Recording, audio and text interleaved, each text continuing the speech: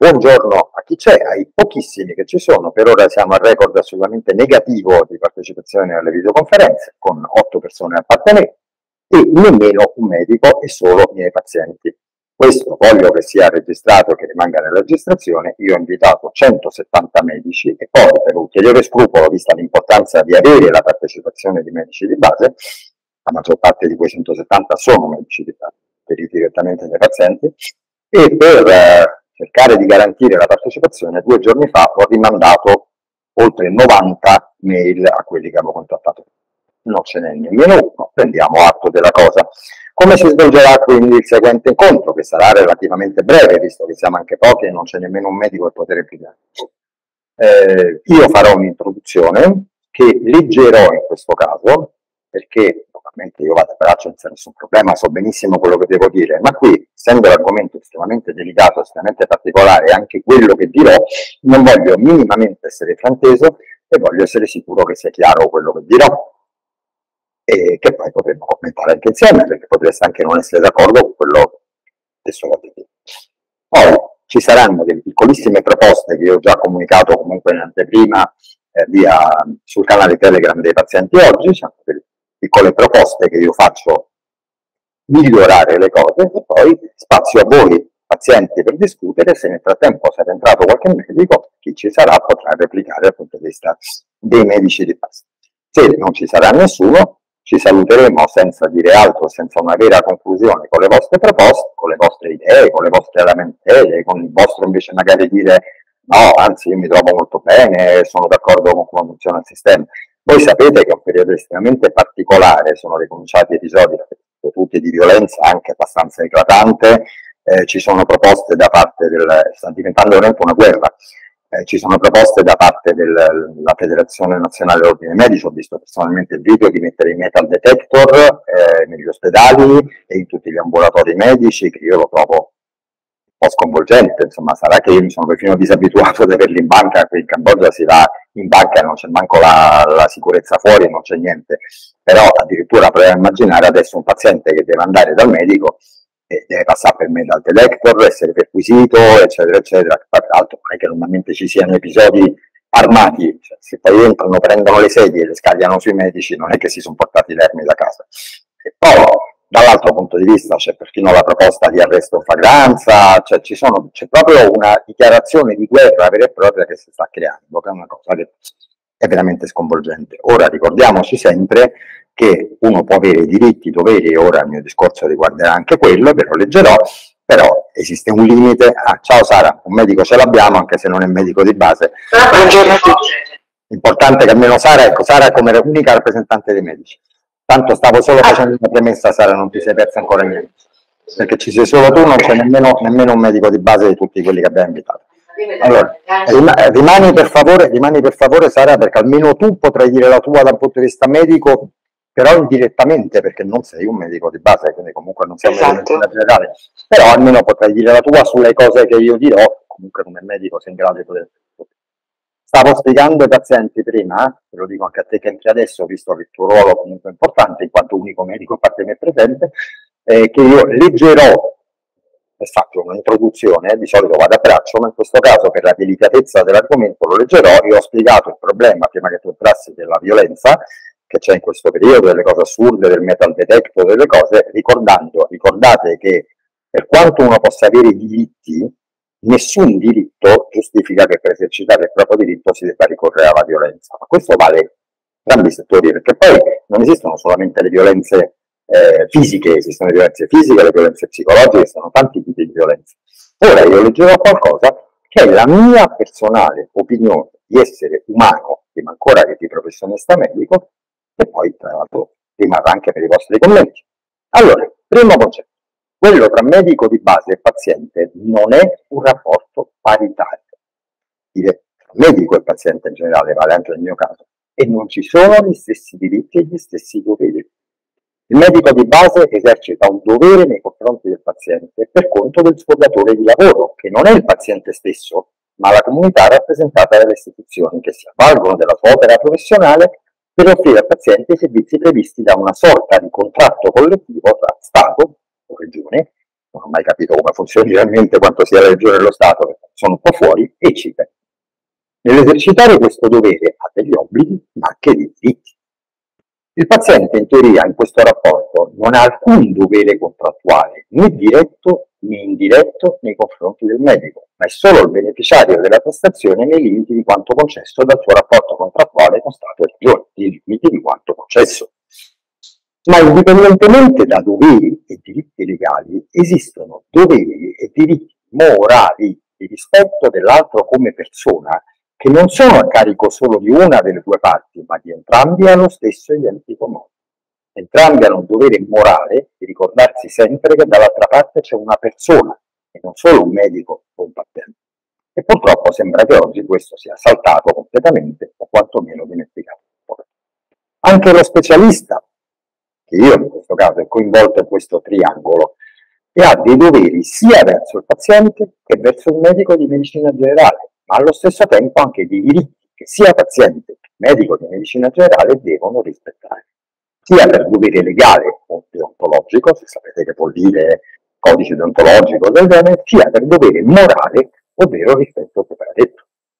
Ma senza dimenticare che in caso di conflitto tra medico di base e paziente, a dispetto di qualunque imposizione da parte del codice deontologico, lo specialista, in quanto medico, ha il dovere prima nei confronti del paziente che nei confronti del medico di base.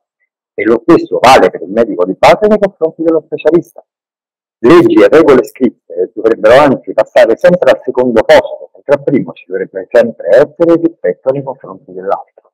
In questo si colloca un difficile punto, quello relativo al dovere di verità e di non mentire che sia lo specialista del medico di base come medici hanno nei confronti del paziente, che può essere incompatibile con il rispetto dell'altra figura professionale affidata al collega, sia esso il medico di base o lo specialista. Come dovrebbe comportarsi un medico nei confronti di un altro medico che ha comportamenti scorretti o abusatori con il paziente o che mostra evidente negligenza? E questo può valere in entrambe le direzioni, se mi piace, eh? Può anche essere lo specialista quello che si sta comportando male con il paziente, o che mostra evidente negligenza, superficialità o incompetenza, il codice deontologico sembra quasi imporre di proteggere il collega, anche se questo comportasse mentire al paziente, ma nel mio caso questo non sarà mai rispettato, qualunque sia la conseguenza alla quale dovessi andare incontro, perché il diritto del paziente di avere un medico che gli mente viene al primo posto sempre. Ovviamente però, sia per il medico di base che per lo specialista, le critiche non devono mai derivare solo da opinioni personali, ma coincidere con cose reali verificabili. E non sarebbe nemmeno corretto prendere posizione a favore del paziente qualora sia lui o lei ad avere torto, ovviamente. Ci siamo fin qui? Poi commenterete. Detto questo, ho stilato una serie di proposte e considerazioni per rendere più facile per tutti questo triangolo non sempre amoroso, tra medico di base, specialista e paziente, senza che sia più debole il paziente a farne più offese. Qual è il ruolo del medico di base nel rapporto tra paziente e specialista, in particolare quando lo specialista sono io, per il mio modo particolare di gestire il paziente, i specifici studi dei quali mi occupo, gli studi che non richiedono una visita diretta, il fatto di fare le videoconsulenze l'iperattenzione che sta aumentando sempre più alla sicurezza, all'assenza di conseguenze, siamo arrivati a sei livelli di check, se vogliamo includere base. Al medico di base, di medicina generale, non compete in questo caso fare diagnosi, cosa peraltro non possibile, nemmeno lo specialista che si occupa. Né decidere la terapia più idonea, cosa per la quale in teoria ha competenza, ha competenza inferiore a quella dello specialista né decidere sulla base della propria opinione personale circa lo specialista o la consulenza da lui proposta o nei modi proposti, per esempio il fatto di fare videoconsulenza, o sul fatto che il paziente abbia trovato lo specialista in internet o dove, ma solo ed esclusivamente verificare, peraltro nel mio caso addirittura come sesto livello di check, se esistono possibili controindicazioni o interazioni sfuggite sia allo specialista che al paziente o altro non tenuto in considerazione dallo specialista. Il medico di base è in tal caso, dando un esempio giuridico, la Corte d'Appello, non giudice di primo grado, che è invece lo specialista. Proposta al medico per rendere le cose più semplici al paziente. 1. Fare videoconsulenza su WhatsApp con il paziente quando non sia necessario un incontro presenza e nel caso di sostegno alla terapia deprescritta, fai è che il medico può visitare il paziente, io non posso, ma lui sì. Non c'è alcun bisogno di usare il Dr. Lib, l'app che usano adesso molti medici, e o programmare appuntamenti in ambulatorio solo per quello, visto che di solito bastano tre minuti, comunque meno di cinque di sicuro, per spiegare al medico cosa serve e perché lo si sta in quel momento contattando. Solo il paziente che dice, buongiorno dottore, io l'atile perché sono andato dallo specialista, mi ha prescritto questa terapia, cioè, cioè, cioè, ci vuole tre minuti, c'è bisogno di prenotare un appuntamento che ti danno. Ora, io pure dico, se dovete fare il controllo post terapia, dovete prenotare l'appuntamento, non c'è urgente, ma se mi dovete chiedere una cosa, mica vi di prenotare l'appuntamento per potermi rivolgere la parola. Mi sembra una buona soluzione, anche per il medico che si snellisce così dalla distanza. Due, uso della comunicazione indifferita mediante messaggi o audio WhatsApp. Non ha senso dire, come fanno ormai regolarmente tutti i medici di base, almeno quando io scrivo, arrivano queste risposte, sia che sia mail, sia che sia WhatsApp, che ne stavo parlando fare l'altro giorno, non ha senso dire che i messaggi possono essere inviati solo in determinati giorni orari perché non si risponderà fuori da questi orari, visto che il medico può poi leggere con comodo e rispondere quando può, e la email è più scomoda perché WhatsApp permette al medico di rispondere anche con audio rapidamente anche mentre sta facendo altro oppure mentre sta guidando la macchina. Ok? Quindi l'uso della tecnologia di WhatsApp permette al medico, cioè molti vi faccio un esempio pratico, molti mi vengono a dire scusi dottore per l'orario quando mi scrivono alle 4 di notte, ma non c'è bisogno che scusi, il problema è che io non ti risponderò alle 4 di notte, ti risponderò poi quando io sono sveglio, cioè quando posso caso specifico, il medico di base magari sta allo stesso fuso orario, non è quello il problema, però è inventato un paziente. Ok? Però perché bisogna dire non mi devi mandare messaggi quando io non sono all'orario di lavoro, ti manda il messaggio sapendo che tu non sei tenuto a rispondere subito, ma risponderai dopo quando puoi. Questa è una proposta. Rendere effettiva visione della terapia prescritta. Questo è medico lo dovrebbe fare per aiutare il paziente, o guardare il video in alternativa, vedere dopo perché vi spiego dopo che cosa è. Colloquio diretto con lo specialista quando si ha qualcosa da obiettare sulla terapia prescritta o rilascio al paziente di motivazione scritta. Attenzione, questi non sono cortesie, questi sono doveri previsti proprio da, dalla legge e da quello del medico. Il medico non può per sua opinione personale, perché gli gira così, rifiutare la terapia prescritta dallo specialista, deve dare una motivazione e se il paziente pretende che la motivazione dello specialista, perché rientra tra i miei diritti o tra i diritti dello specialista, pretende che quella motivazione sia scritta, il medico lo deve fare.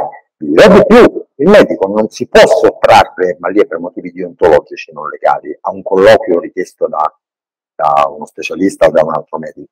Io chiedo caro dottor, cosa, avrei bisogno di parlare con te, il medico non può dire non mi vai con te, non ci parlo, tra i suoi doveri farlo, io avrei pieno diritto a quel punto oggi non lo denuncia, ma lo stesso se il medico, guardate che paritaria la cosa, se il medico dice no, io devo parlare con lo specialista e mi contatta, io non posso dire no, io con te non ci parlo, non lo posso fare. Poi Sara come unica rappresentante dei medici dirà se quello che sto dicendo è vero o non è vero.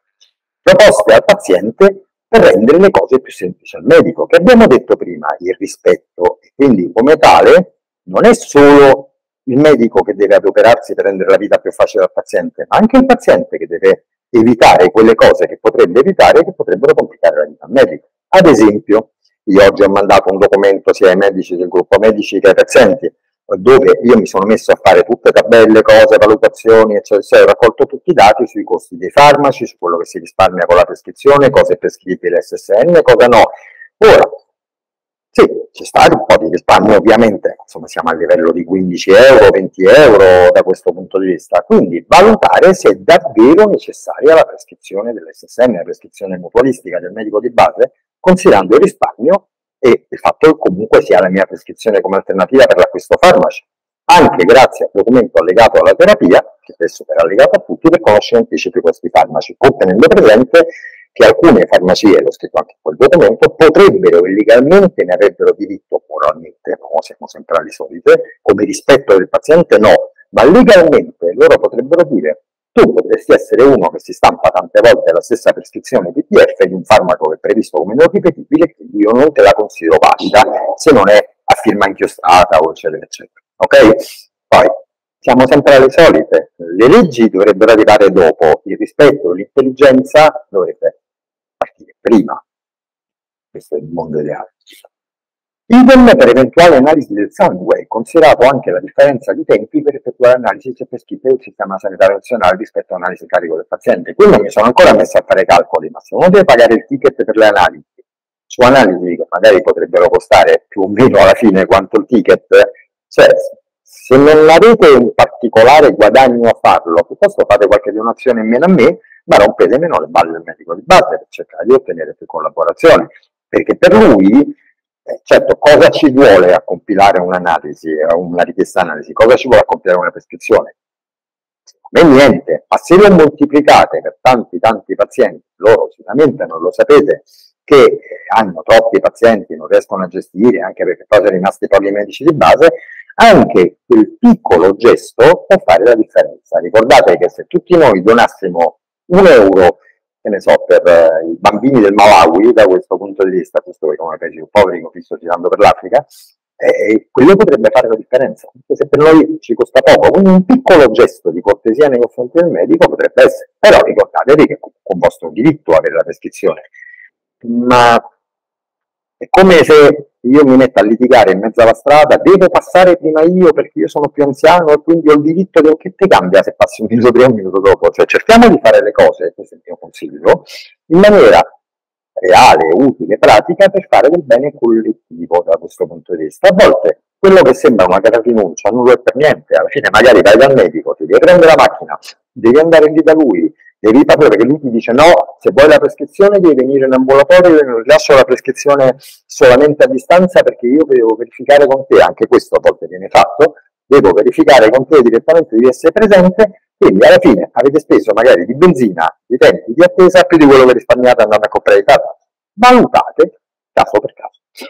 Poi attendere quanto serve entro limiti ragionevoli. Cioè, non è che potete pensare che voi mandate la terapia al medico, gli chiedete la prescrizione, 5 minuti dopo il medico automaticamente, come un robot, vi risponde. Magari risponde dopo due giorni. Non so tutti come me, anche perché io, io lo posso fare perché non ho il numero di pazienti che c'è al medico. Se avessi il numero di pazienti che c'è al medico non lo potrei fare così. Quindi attendere quanto serve entro limiti ragionevoli senza mettere fretta al medico o insistere con messaggi ripetuti considerato che normalmente non c'è nessuna vera urgenza. Ovvio, se poi non vi risponde per una settimana o per cinque giorni, no. Però siamo sinceri, non c'è mai una vera urgenza su questi problemi. A volte avete aspettato mesi o anni prima di fare una cura. Sai quante volte mi capita, dottore, io sono quattro anni che conosco il suo sito, eccetera, adesso mi sono deciso, e eh, poi però devi mettere fretta al medico entro, entro mezz'ora ti deve fare la prescrizione. Cui, eh, significa ci diamo una mano tutti? È il famoso gioco di squadra che dico sempre, che si potrebbe fare il gioco di squadra anche col medico di base, fermo rimanendo quello che ho detto prima, che l'azione conflittuale comunque non è il paziente ad avere un dovere contrattuale, io specialista e il medico ad avere un dovere contrattuale nei confronti del paziente. Abbiamo perfino il diritto di ricusarlo se vogliamo, noi possiamo ricusare il paziente, io posso dire, non è una prestazione di pronto soccorso, io posso dire al paziente scusami, io non intendo seguirti perché ti comporti male con me, lo può fare anche il medico di base, però se accetta quel, quel paziente, visto che viene anche pagato da quel paziente, non, non, direttamente, ma per quel paziente, ha il dovere di rispettare un dovere contrattuale. Questo però non esime il paziente da comportarsi in maniera rispettosa con il Cosa potrei ulteriormente fare io come specialista per rendere le cose più facili al medico e al paziente? Sì, ho avuto anche problemi a cosa metterci portare il caffè, eh, cioè, non so, pagare mazzette per comparaggio io non lo farò mai e quindi quello non, non, è un modo che ho per rendere più facile la vita ai medici, sicuramente ai pazienti. Però ad esempio, l'avevo già fatto in piccola parte in passato, abbiamo il problema che io sono costretto a scrivere 22, 25 a seconda delle cose pagine di terapia e il medico no, no, no, non posso leggere tutto.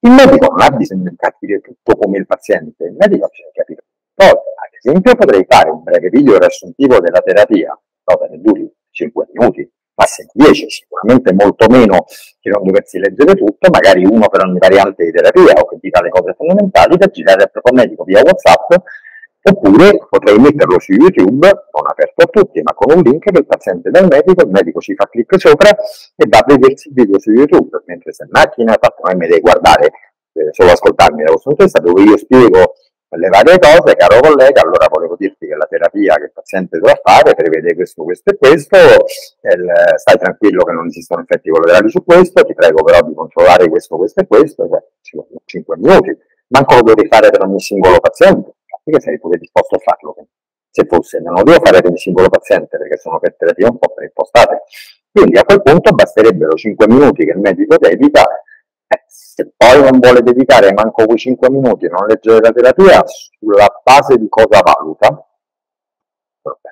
E io ho già finito tutta la mia parte, a questo punto prendete la parola chi volesse, siamo arrivati eh, scusate, visto che non ho visto chi altro è entrato dopo, eh, giusto che lo chieda, c'è qualcuno, oltre Sara Ballarin, medico, c'è qualcuno che è medico di base qui o comunque in generale altro medico? Se ci siete, per favore prendete la parola e presentatevi.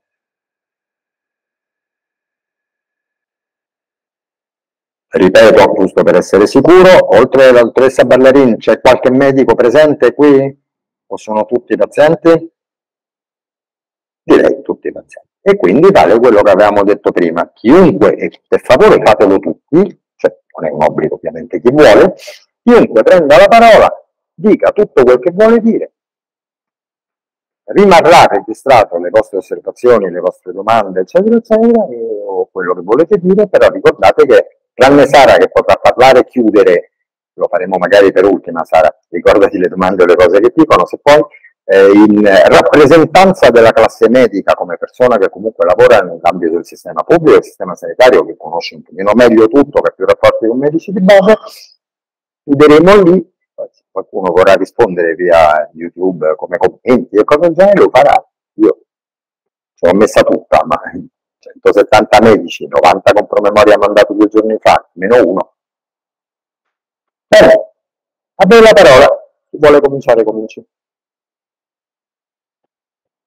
Vabbè, qualcuno Volevo prepararmi due cose, ma però sarà un po' confusionaria sicuramente. ma, allora, tu è la prima volta, Tiziana, che partecipi, però non lo sai, ma eh, cose fatte in maniera amichevole, non sono cose che uno si può... Non c'è nessuna ansia da prestazioni qua, capito? Abbiamo visto di tutto e fatto di tutto nelle nostre videoconferenze. Io ho cominciato nel 2021, però all'epoca si radunavano 90 persone minimo per ognuna. Ora... Peccato. Vabbè, allora io sono Tiziana, mi presento e sono un paziente, parlo da paziente. E, e per quanto mi riguarda il mio medico della mutua è un, un medico veramente molto disponibile, eh, non posso lamentarmi di lui, è gentile, abbiamo un bellissimo rapporto e comunichiamo tramite Whatsapp.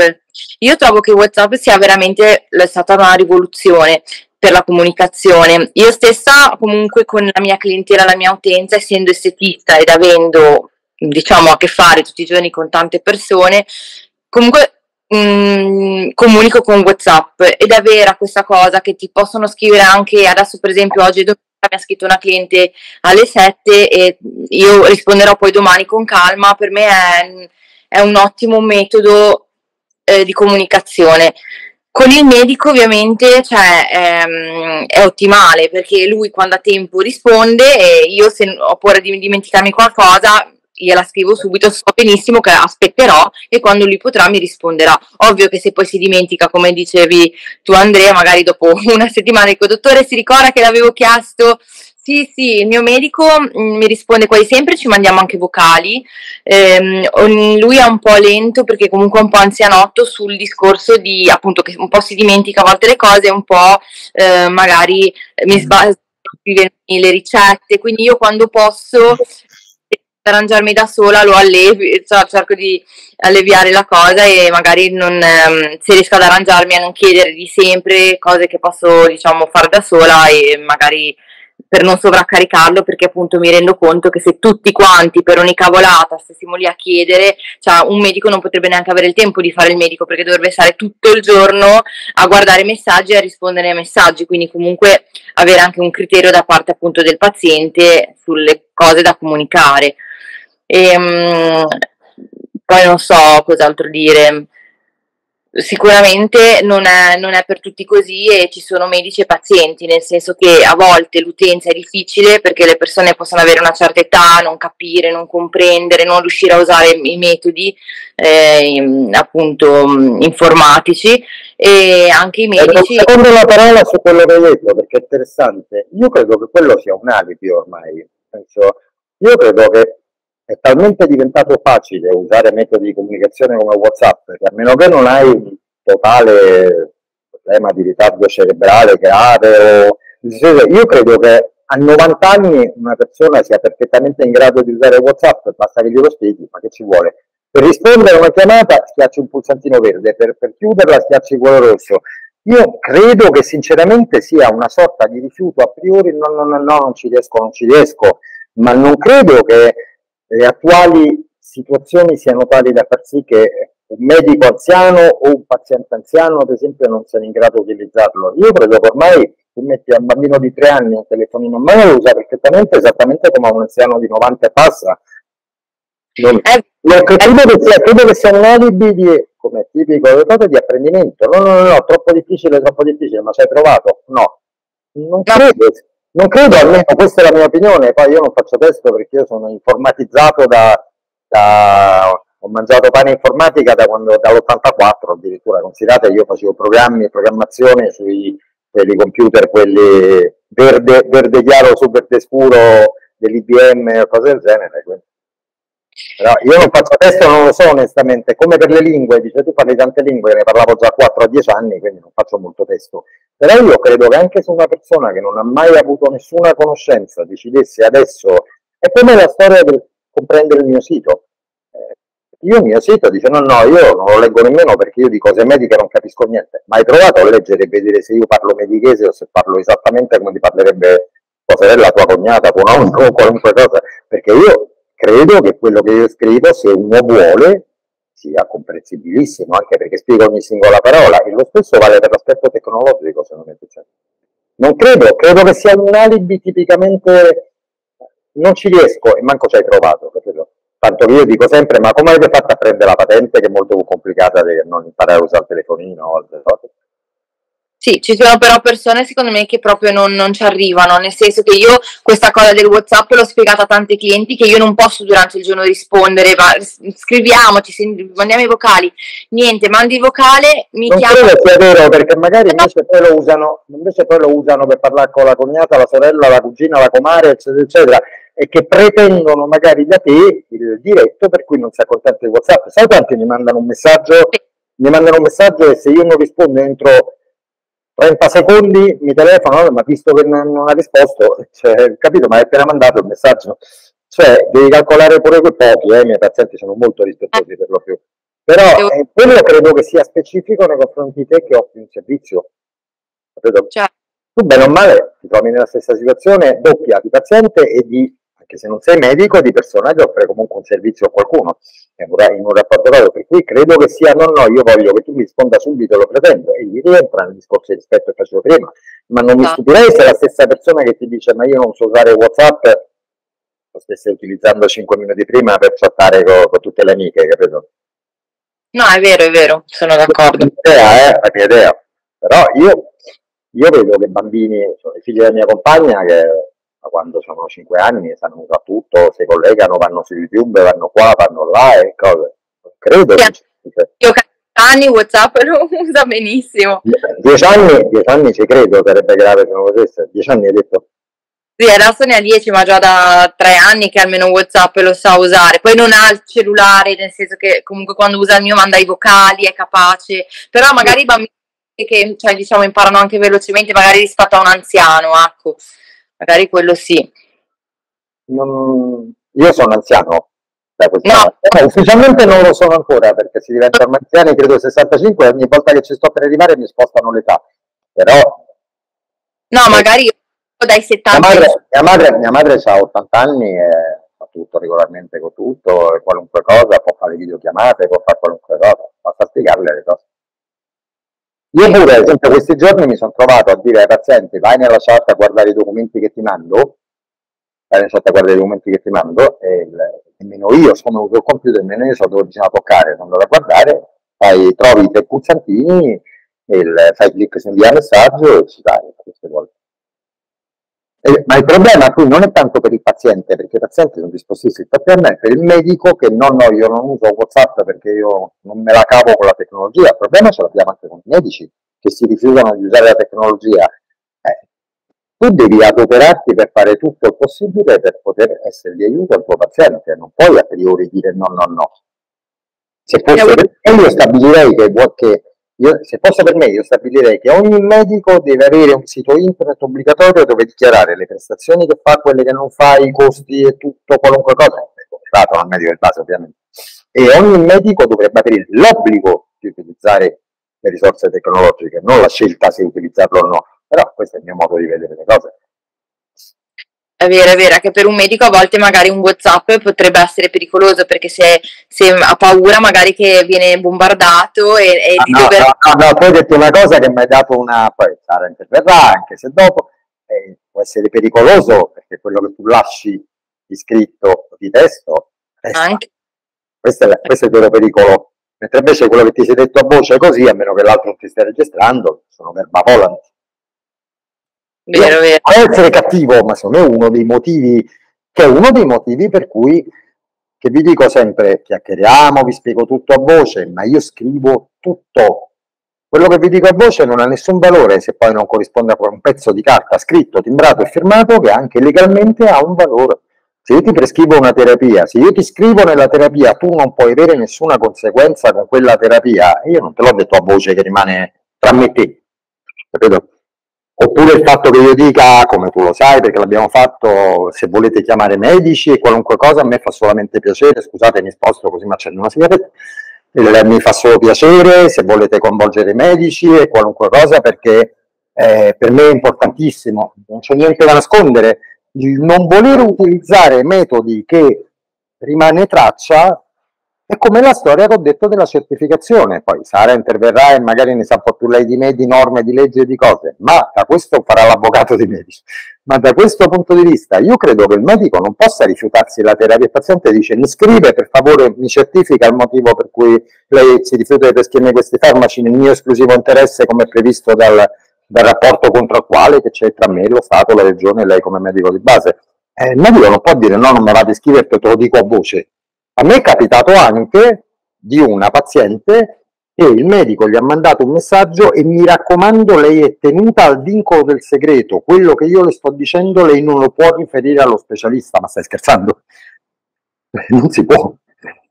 Io, c'è stata una paziente, c'è stata una paziente che il medico gli ha per iscritto, poi pure stupido, vietato di riferire a me che lei non era d'accordo col dare i farmaci non ha molto senso, credo. Per cui, poi, insisto, io l'ho spiegato prima, io sono a metà tra il paziente e il medico, non prendo automente posizione del paziente perché le persone, però com'è che io non ho tutti questi grossi problemi nei rapporti con i pazienti? Certo, può capitare Marco, ma com'è che io comportandomi bene e gentilmente non ho quasi mai problemi, non abusano di me i pazienti, non, non, vabbè, cioè non ti vengono a menare perché sei in Cambogia, nel prossimo Italia ti picchierebbero pure a te. No, però sono stato in Italia tanto, nessuno ha mai cercato di menarmi. Non, nessuno mi ha lanciato le sedie contro, siamo sempre al suo discorso. Però, secondo me, il paziente va educato e il medico va educato. Cioè, educato prima di tutto non è alla legge. La legge, uno dovrebbe non ricordarsi manco che esiste la legge. Kant diceva che c'è un imperativo categorico morale dentro, il filosofo Kant. Uno, che c'ha bisogno della legge per dire non dovresti lanciare le sedie addosso alle persone? Non devi, non devi, cosa, devi, devi, avere rispetto per la persona che dall'altra parte sta lavorando per te e non pretendere in maniera abusiva e dall'altra parte devi avere rispetto che quel paziente si rivolge a te non perché è uno che soffre, ma perché comunque, perché dico non è un rapporto paritario? Perché comunque il medico è una figura che sta al di sopra, più forte del paziente. Il medico ha più potere nei confronti del paziente di quanto il paziente non ne abbia nei confronti del medico. Il medico ha il diritto di veto io non ti do la terapia, mettiamola così, il paziente non ha diritto di veto. Il paziente ha solo un diritto, io ricuso il medico e lo cambio, ma siccome è un ricatto, siccome non c'è, come se, se Eva avesse detto ad Adamo, senti, non ti sta bene, trovatene un'altra, ma ci stai solo te, come me ne trovo un'altra? E se, se come anche Sara c'era l'altro giorno, non ci stanno i medici, questo povero paziente deve subire la situazione di carenza di medici di base è da un lato giustifica che i poveri medici un pochino si lamentano che, che non una cosa, dall'altra parte diventa un'arma a doppio taglio perché diventa anche una forma di ricatto nei confronti del paziente. Dice, sta bene quello che faccio io? Vediamo se te ne trovi in altro, non ci stanno. Cioè tutti i pieni, quelli della zona del territorio. Se uno vive in una grande città pure pure, ma quello che vive in un paesino, in un'ASL piccola o ASL, quello che è piccola, che fa? Che potrebbe veramente essere finito e non avere medico di base. Eh? C'è, c'è, un sacco di gente, sentivo l'altro giorno, che è scoperta di medico di base perché non c'è un medico disposto a prenderlo perché ce l'hanno già tanti.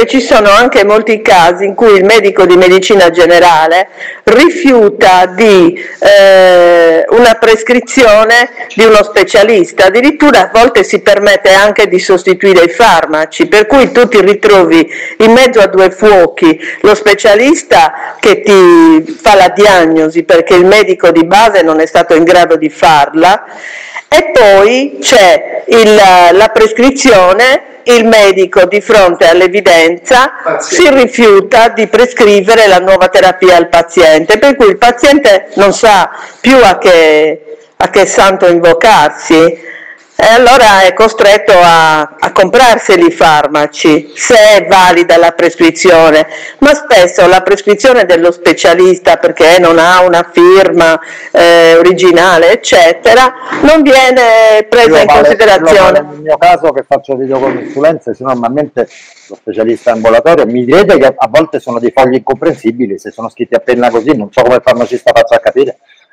però eh, la firma normalmente c'è, il problema si pone se uno No, no, la firma c'è, però non è originale, per certi farmaci la ricetta non è ripetibile, occorre la, la, prescriz- occorre la, la ricetta norme, originale del medico. Norme, quelle sono norme che non è possibile, quelle sono norme non decise dal medico di base, diverso, allora tu hai posto una serie di problemi. Per uno, il medico si, mi sostituisce il farmaco. Attenzione, da quel che so io, sì. il medico che deve anche tutelare il sistema sanitario nazionale, la collettività, la spesa pubblica, eccetera, ha il diritto di offrirti. Non credo che non, non ho ancora mai capito, cioè se io preciso non voglio che sia un generico, voglio che sia quello, eh, non so se il medico ha comunque... No!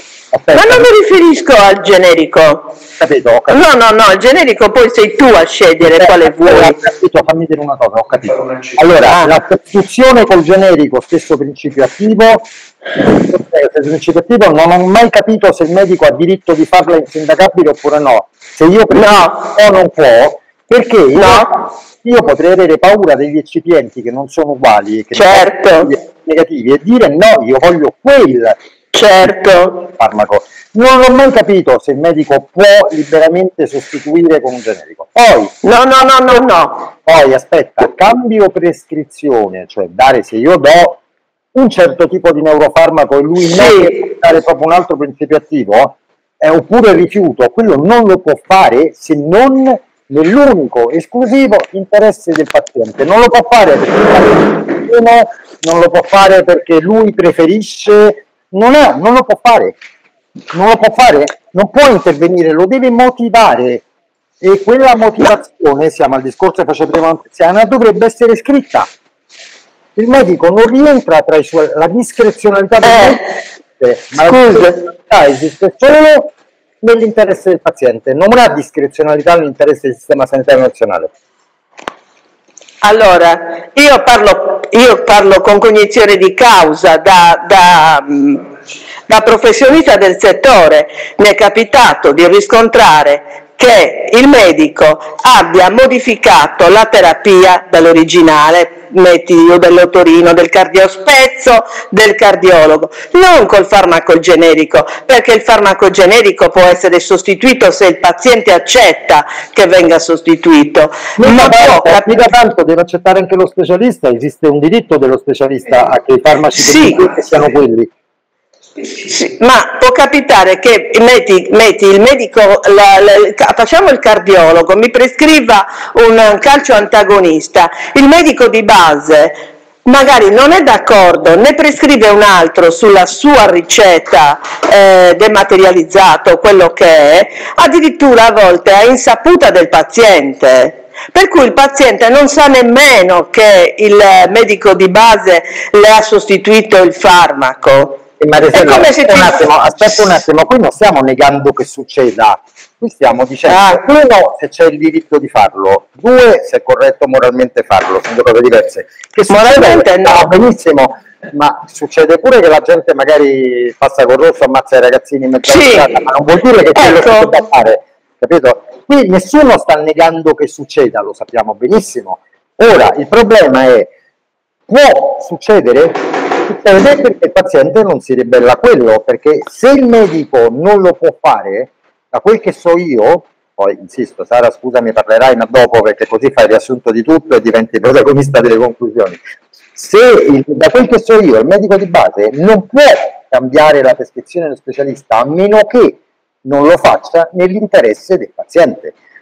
Lui lo fa nell'interesse del paziente, lo specialista Beh. Ha diritto a pretendere di essere informato, come il paziente certo. ha diritto a pretendere di essere informato e per iscritto, se viene richiesto, se viene richiesto, nel mio caso io mi accontenterei di un colloquio medico, se ci parlo, se manco me lo scriva, il paziente potrebbe dire me lo scrive, io ti do invece che questo farmaco per la pressione, ti do quest'altro farmaco per la pressione in quanto ritengo che nel tuo interesse di paziente, perché da quel che so io non è consentito che quella decisione discrezionale sia per pura scelta del medico fuori dall'interesse del paziente, perché il medico fa due ruoli. Due ruoli, io prima non l'ho detto perché a me non mi riguarda il primo, ma due ruoli, quello di medico che si occupa di diagnosi e terapia, cioè tu non vai dallo specialista, vai direttamente dal medico di base, buongiorno dottore, mi fa male la gola, mi fa male la testa, mi si è alzata la pressione, ho quello, ho quell'altro, e ti rivolgi al tuo medico, che non è solo un timbrarolo che deve solo, ha solo il compito di certo. specialista, ha un ruolo diagnostico e terapeutico. Lui è libero di darti tutto quel che vuole darti esattamente come sono libero io come medico, se ti rivolgi a me, di darti tutto quel che io ti voglio dare. Nessuno mi può imporre a me cosa darti o cosa non darti in terapia. Tu decidi se accettare o non accettare, io ti do le spiegazioni perché sono doverose anche quelle, si chiama consenso informato.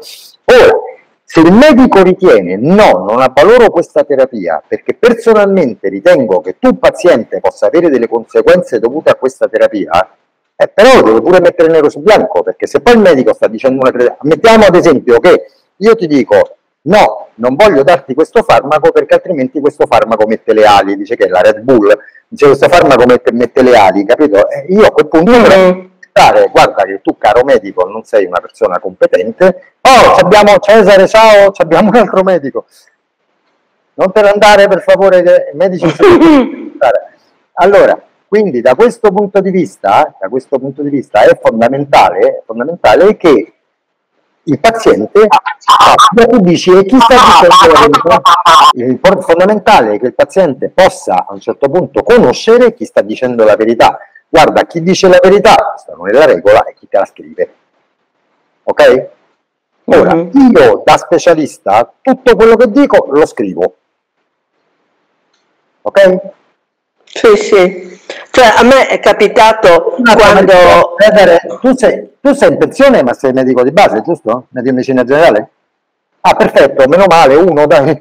Allora poi dopo, poi dopo interverrà Sì, allora, quando, io, quando tu mi hai consigliato di togliere il diuretico dalla, dal mio farmaco antipertensivo eh, e l'ho chiesto al medico di, prescriver, di prescrivermene un altro senza diuretico, ha storto un po' il naso, cioè ha, ha fatto un po' un viso, come questo è importante per il motivo, te. Il motivo?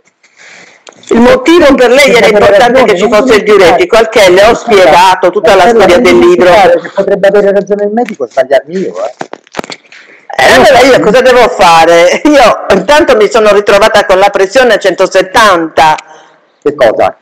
Togliere il diuretico, togliere il diuretico, questo te lo posso garantire, a nessuno ha mai alzato la pressione da questo punto di vista. No, con la sostituzione, poi con l'introduzione di un altro farmaco, eccetera.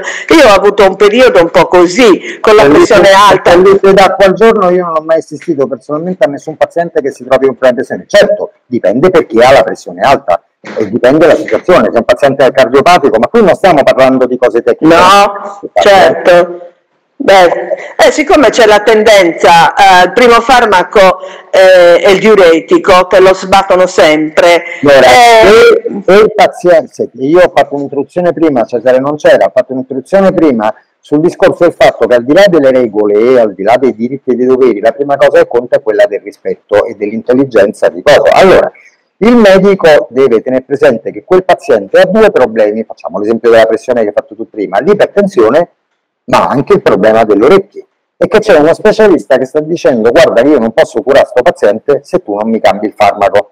Ok? Ora il medico, Mhm. se il paziente dovrebbe tener conto delle due cose, non dire a me mi frega niente che tu soffri per l'orecchio, l'importante è che, non- che io possa essere a posto con la cura della pure- perché il paziente non è né un'arteria con un corpo attorno né un, un orecchio con un corpo attorno, il paziente è una persona e quindi il medico dovrebbe tener conto di tutto quel che serve al paziente nella sua globalità per stare bene o per non stare bene. Mi pare aver detto una tale fregnaccia da questo punto di vista. No, assolutamente, giusto. Ora, ora, io sono da medico assolutamente sicuro che non esiste problema a togliere il diuretico, a meno che non ci siano delle indicazioni, ci esistono delle patologie per le quali non puoi togliere il diuretico, ma in quel caso il paziente ha una controindicazione assoluta alla terapia. Ok? Io sono assolutamente Mhm. convinto di questo, però il medico ha pieno diritto a esprimere la sua opinione e dire caro collega tu sarai pure certo ma io non sono d'accordo per me sto paziente ha bisogno di diuretico. Benissimo però me lo scrivi per favore oppure me lo dici a me. Non ti limiti a dirlo al paziente non, non rimane traccia tua- del tuo rifiuto non rimane niente. Questo è il discorso. Perché se no il medico potrebbe anche essere che non gli va. Oggi mi gira che io non Certo. voglio il farmaco ed esiste comunque in ogni caso abbiamo qui adesso Cesare che potrà intervenire. Anzi io direi Marisella hai finito tu? Sì, sì, grazie. Allora, Sara, poi tu fare invece le conclusioni. Cesare, ciao, in qualità di unico su 100 candidati, medico, medico di generale assessore attenzione, in grado di poter, se abbassi un po' il volume che rimbomba la mia. Un pochino che rimbomba la mia stessa voce. Allora, ora ti coinvolgiamo per dire la tua dal punto di vista proprio di un argomento. Io sostengo, ma vorrei che tu dicessi la tua, che sia da un punto di vista legale, sia da un punto di vista morale, che per me la morale dovrebbe contare più del punto di vista legale, ok?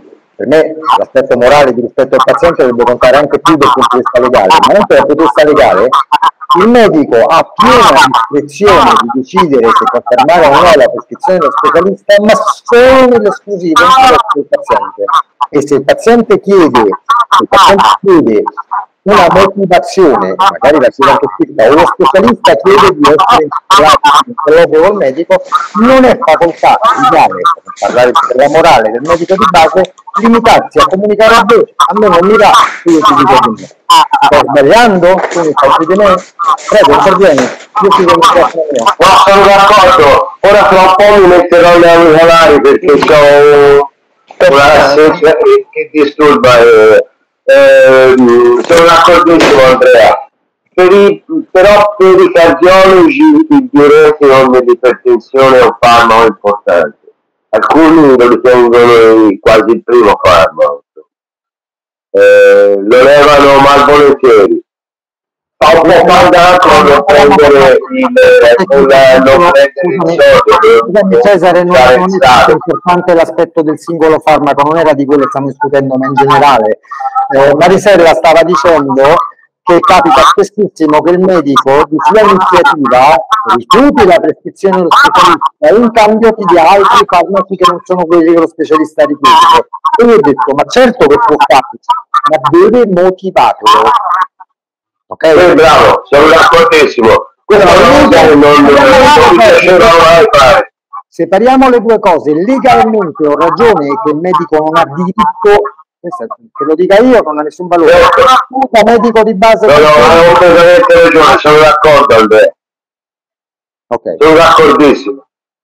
va bene, mi basta Però eh, anche perché una cosa che disorienta il paziente, è un modo di fare che lo disorienta, perché non sa più se, se essere d'accordo con lo specialista o era se quello essere che dicevano d'accordo loro, infatti, era quello che dicevano loro, io ho detto credete a chi vi ha scritto, se non sapete chi ha ragione, chi vi scrive ha il coraggio di quello che sta dicendo, capito?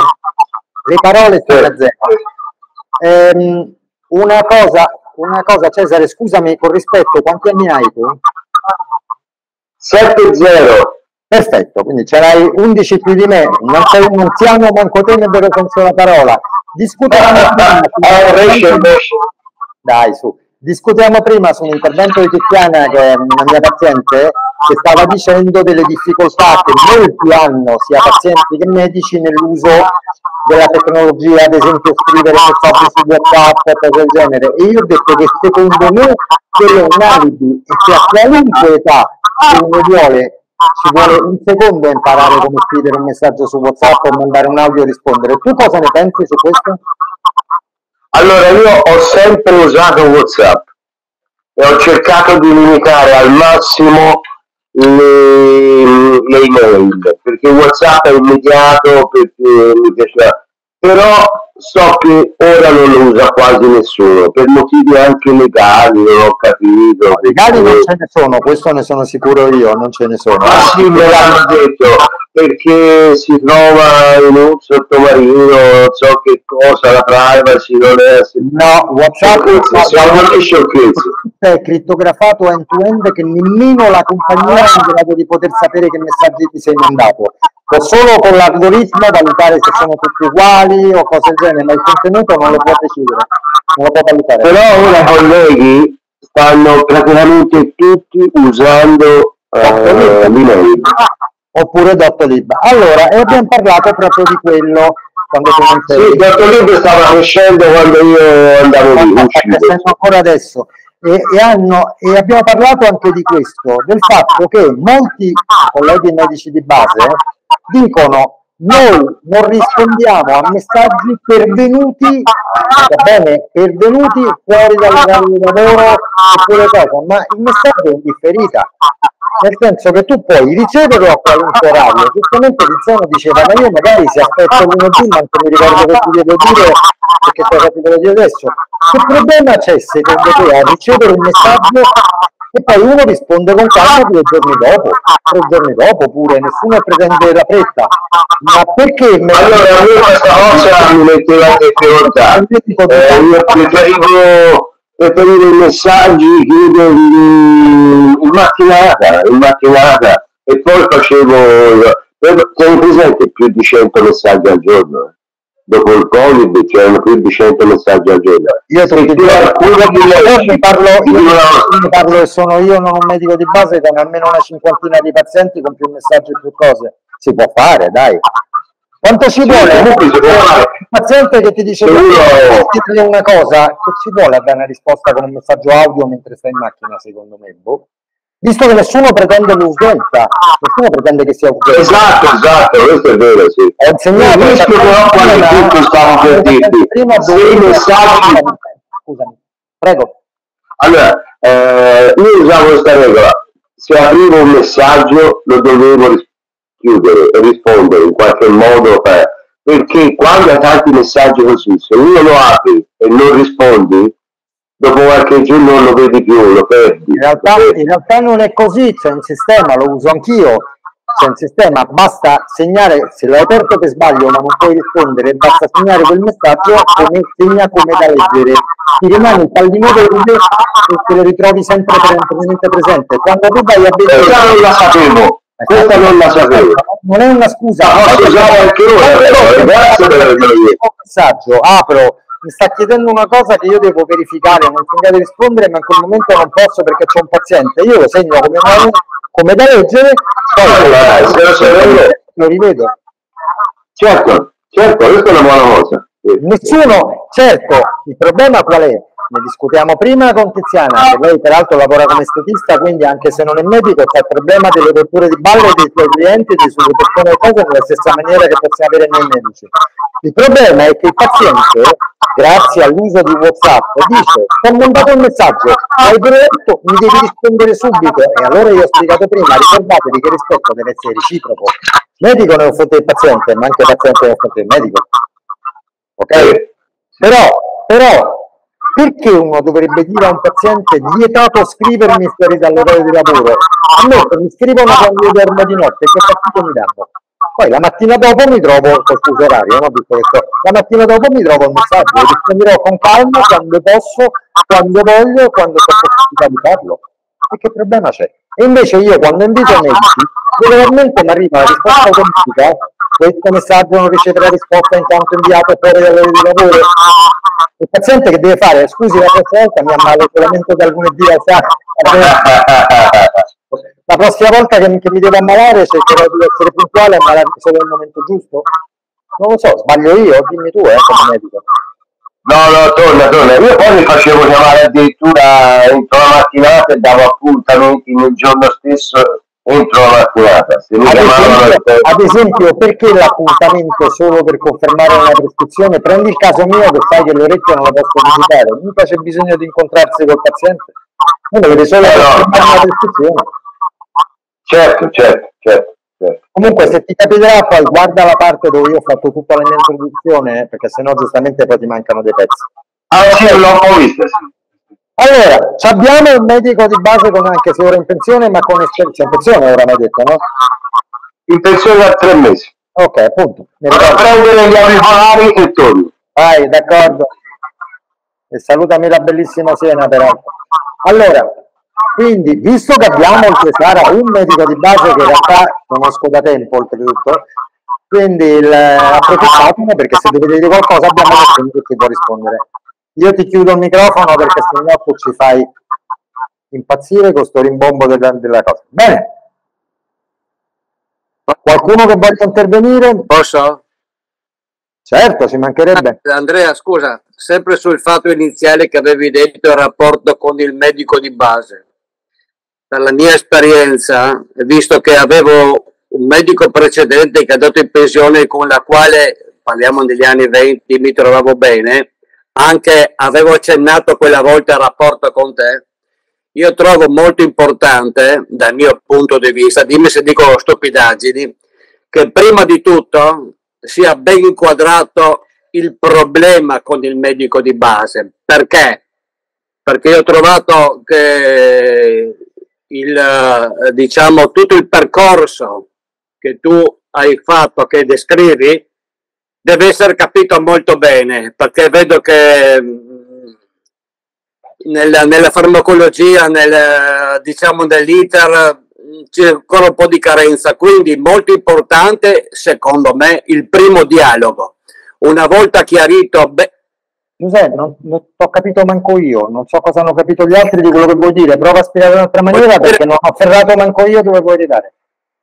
Una volta, una volta capito... Cioè, ho capito l'iter, ma cioè, chi dovrebbe fare un iter differente? Ah, io? No, a questo punto, come nel caso mio, adesso dovrei tornare da lui, avevo già iniziato a spiegare, siamo stati circa tre quarti d'ora, ha capito, si è fatto eh, una copia della tua prescrizione generale con tutti i farmaci, adesso devo riprendere il discorso. Quindi secondo me è importante capire bene cosa si vuole fare. Conseguentemente dopo tutti i rapporti possono essere con WhatsApp, tutto quello che vuoi e mi va benissimo. Ok. Ma, prima, ma prima di tutto deve essere ben inquadrato Quindi quello provo a vuole- tradurre, provo a tradurre se ho capito, non sono sicuro. La comunicazione che lo specialista fa con il medico di base, scritta o parlata, deve essere chiara ed evidente. Certo, molto Ora, chiara. Ora, Perché- ora, siete tutti i miei pazienti, tranne i due medici, siete tutti i miei pazienti. Secondo voi, quel che io comunico dando al paziente, dando, facendo avere al medico di base la terapia, con la lettera che gli mando, con tutto quanto, secondo voi, lasciate perdere voi i pazienti se per voi è chiaro o no, che posso sempre spiegarvi le cose, ma per un medico è tutto chiaro, tutto evidente, tutto senza ombra di dubbio, oppure può essere considerato ambiguo, equivoco? No, no, avevo intento questo perché c'è un percorso, ci sono eh, le fleboclisi, i neurofarmaci, la dieta, tutto quanto. Quindi nel percorso, nella logica del percorso, deve essere chiaro cosa si vuole fare. Una volta Allora, che... io ho chiesto, correggetemi perché posso imparare anch'io a fare meglio. No, no, no, tu vai Nella benissimo. vostra esperienza, quel che io, il modo con cui io scrivo le cose, il medico, questo, non è tenete per presente te. che ho detto di fare anche un video. eh. Come? non, non è per te. Il discorso deve essere chiaro con il medico di base. Non so Eh, se mi capito, spiego. ma quando si comunica ci può essere un errore dovuto al Eh, comunicante quello- o al ricevitore della comunicazione. No, quello Io sto dico, chiedendo un consiglio da parte dei miei pazienti. Ritenete che io debba migliorare la mia comunicazione verso il no, medico? no, no, Se per quello- così la miglioro, sono qua per imparare anch'io, figuriamoci. certo, ma però deve essere secondo me il primo contatto, secondo me, se si può, dopo ognuno faccia quello che crede, deve essere diciamo eh, personale, a voce, dopodiché si può Io avviare come tutto. lo creo il contatto personale a voce col medico se il medico con me non ci vuole parlare? Scusami, che faccio? Vado a Eh, bussargli no, alla porta a no, casa no, sua? No, aspetta, aspetta, perché a quel punto, a quel punto, quando ho iniziato il discorso, glielo dico, glielo dico, guarda che il medico e lo specialista che mi segue vorrebbe avere un dialogo con te, e no, e non è, non è così proprio, perché dopo mi impongo anch'io, mi dico anch'io le, qual è il contatto da fare, quelle, ci sono le cose da fare, però prima, secondo me sempre, bisognerebbe che sia molto chiaro il rapporto, quello che si vuole fare, tutto là. E chiudo.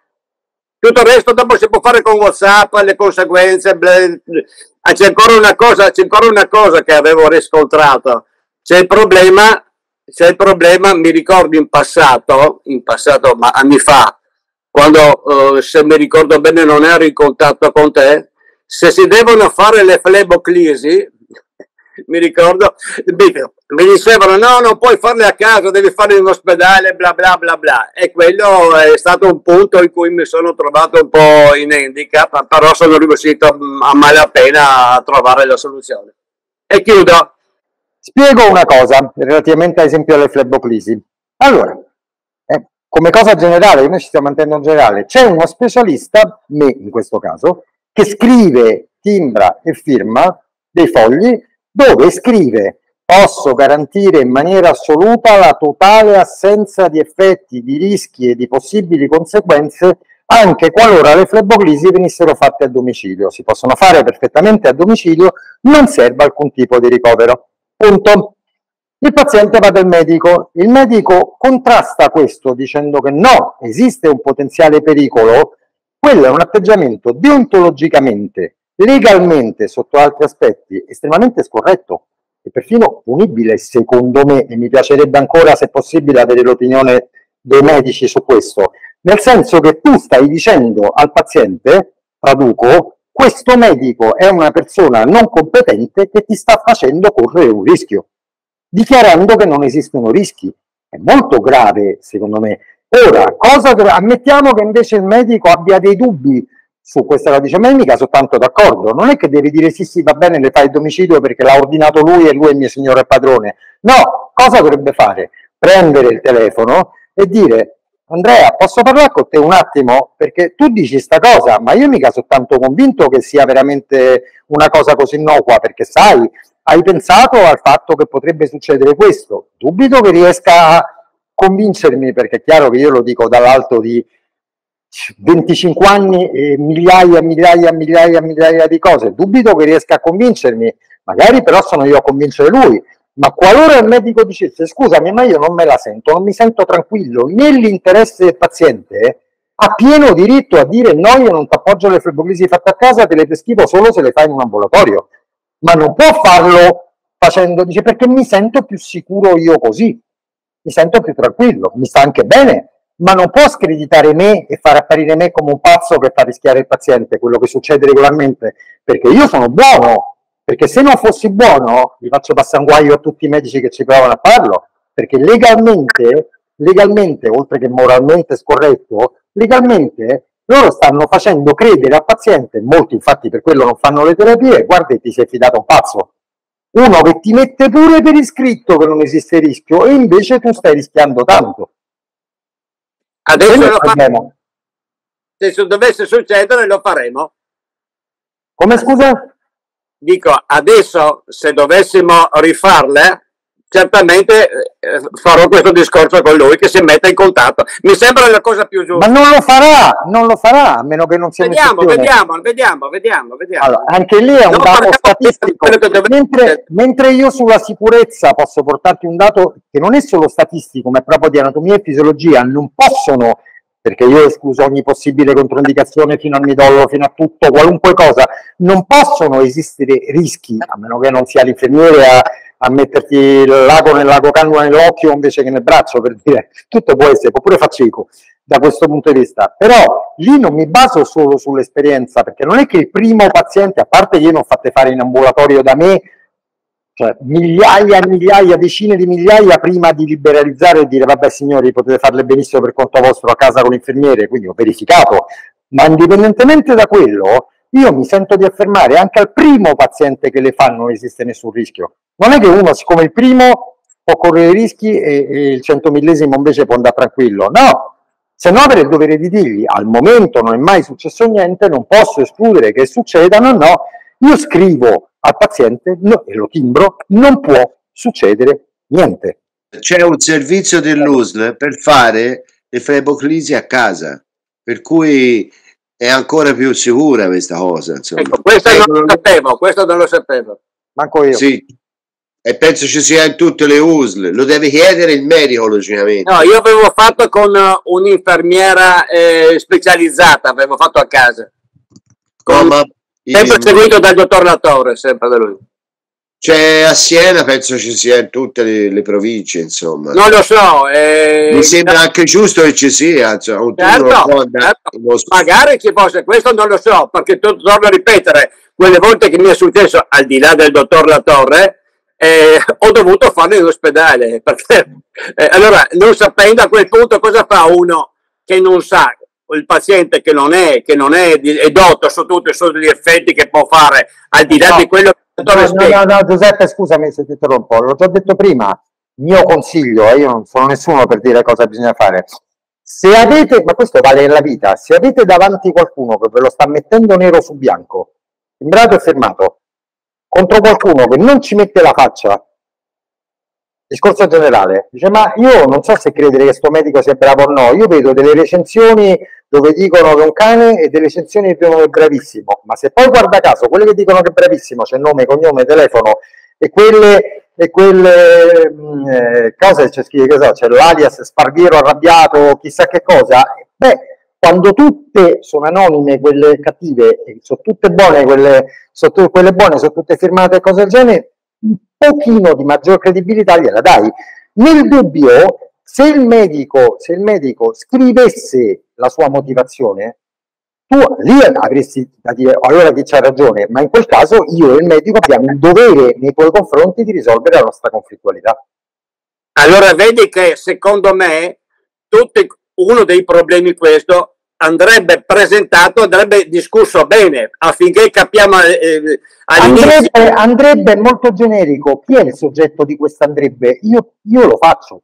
Io mando una lettera No, medico. no, non, pa- non parlo di te, non Signori, signori, allora il Medico di preciso, preciso e lo faccio come registrazione pubblica, scusate un attimo, preciso, questa è l'ultima versione della mia lettera che c'è sempre stata per i medici, eccetera, eccetera, ma preciso che io a tutti i medici, nelle terapie che mando, metto alla fine, intestata addirittura con nome e cognome del medico che lo considero più rispettoso, la seguente lettera. Lettera per il dottor, che ne so, Cesare Atticciati o quello che è. Gentile collega, ti prego di valutare l'intero documento informativo sulla terapia per idrope inviato al paziente, patient name, cioè c'è il nome del paziente, a seguito di videoconsulenza, che sarà seguito da una mia successiva prescrizione e, se necessario, di contattarmi su WhatsApp o Telegram per un colloquio diretto con me, sempre credito e utile. Come puoi vedere, seguo sempre una scrupolosa valutazione mediante questionario preliminare e anche in consulenza di ogni possibile controindicazione a qualunque componente della terapia o interazione con altri farmaci assunti per qualunque motivo, rimandando l'effettiva prescrizione a Dio dopo valutazione di analisi, quando necessarie, e dopo aver ottenuto nulla osta per eventuali controindicazioni relative. Per il tipo di disturbi da trattare, la sicurezza assoluta viene sempre al primo posto, prima della necessità di ottenere risultati. Nonostante questo, reputo importante anche la tua valutazione e approvazione. Circa l'impiego di neurofarmaci segnalo che nonostante l'apparente uso flabile, in realtà solo apparente, essendo impiegati anche per la gestione di ansia e stress, sempre presenti da trattare con effetti poi su ormone antidiuretico e idrope come spiegato, si tratta di terapia priva di qualunque conseguenza, assolutamente sicura, che propongo da quasi 25 anni di routine con gli stessi farmaci. L'uso di terapia cortisonica per orecchio interno e idrope meniere è invece assolutamente comune e previsto da molti specialisti, ma la differenza sostanziale, come efficacia e azzeramento effetti collaterali, la fa il carico idrico sempre associato. Anche le fleboclisi di mannitolo, quando previste, sono assolutamente sicure ed effettuabili tranquillamente a domicilio, come da me proposto in piena sicurezza da molti anni. Se desideri approfondire, ti consiglio di accedere al sito Idropeinfo dove potrai trovare tutto spiegato in dettaglio anche con riferimenti alla letteratura scientifica e con molte pagine video. Con l'occasione ti segnalo, organizzo videoconferenze, il gruppo Telegram, eccetera, eccetera. Eh, ti porgo i miei migliori saluti, augurando buon lavoro e confidando in una proficua collaborazione nell'interesse del nostro comune paziente e resto a tua completa disposizione per eventuali chiarimenti. Ora, chiedo a Cesare che è davanti qua e non essere di parte perché ci conosciamo, chiedo a Cesare qua davanti, di fronte a una lettera del genere, ma un medico non dovrebbe avere moralmente il dovere o di dire di sì oppure almeno di contattarmi, visto che l'ho detto chiaro e tondo, e dirmi ragazzo mio, te sei scemo? Cioè, ma che stai dicendo? Ma, o, o magari umanamente e dentro la scheda c'è tutta la valutazione, le, le controindicazioni. Esatto, esatto. Hai completamente ragione. Sono completamente d'accordo con te, Andrea. Sono Io non, credo di poter fare meglio di così, ma mi è venuto anche mi sembra, mi sembra anche moltissimo esaustiva quella, cioè, inattaccabile. Cioè. Eppure, com'è che nemmeno uno mi ha mai contattato? Uno, medici uno. No, non è vero, una dottoressa una volta mi contattò dicendo guarda che io non sono tanto d'accordo, ne abbiamo parlato, alla fine l'ho convinta e è stata d'accordo. Uno in 25 anni specifici su questo settore e 35 da medico. Uno, una dottoressa mi ha contattato. Dei medici non c'è da stupirsi di niente. Vabbè, ho capito, non sputiamo sulla categoria, non sto facendo un discorso. Per me non esiste la categoria dei medici, esistiamo come singole persone individuali, uno può essere una persona del bene eh, di tutti i settori e tutti i lavori, però una mi ha contattato che io ho detto guarda collega, anche se mi massacri di critiche, già te voglio bene per il solo fatto che hai preso la briga di mandarmi una mail dicendo scusa vorrei un colloquio con te, fatto ma figurati subito. Però per fare questi tipi di approfondimento ci vuole, a parte la volontà e la predisposizione, però ci vuole tempo, ci vuole non è facile trovare il tempo quando c'hai 2000 persone. E allora ferma tutto. E allora io ho detto una cosa. Dammi la tua opinione morale. Ho capito? Il, il diritto al paziente di essere curato tiene prima del tuo di medico di lavorare e guadagnare. È moralmente corretta sta frase secondo te da medico? ok. Sì, hai 2000 pazienti che segui male tutti e 2000 non ne seguire 2000 ma così povero paziente rimane senza medico di base. Ma se deve avere un medico di base che lo segue a CDC per non dire che cosa la terza parola è cane ok a questo punto è meglio non avere un medico di base.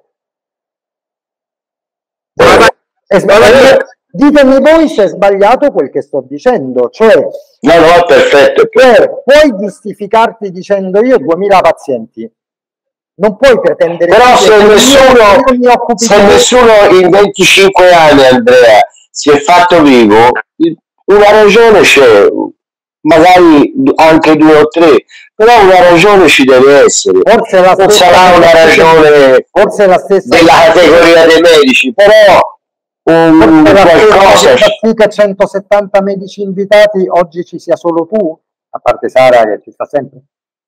Forse quella 170 medici sono stati invitati. Tu ci sei, ma solo tu. Scusa, eh, ci, ci, faccio caso. C'è una mano alzata da un po', eh? Certo. Scusa, prova a chiedere, non ho capito bene. Scusa, prova a chiedere al dottor Cesare, secondo lui, il perché non ti hanno contattato.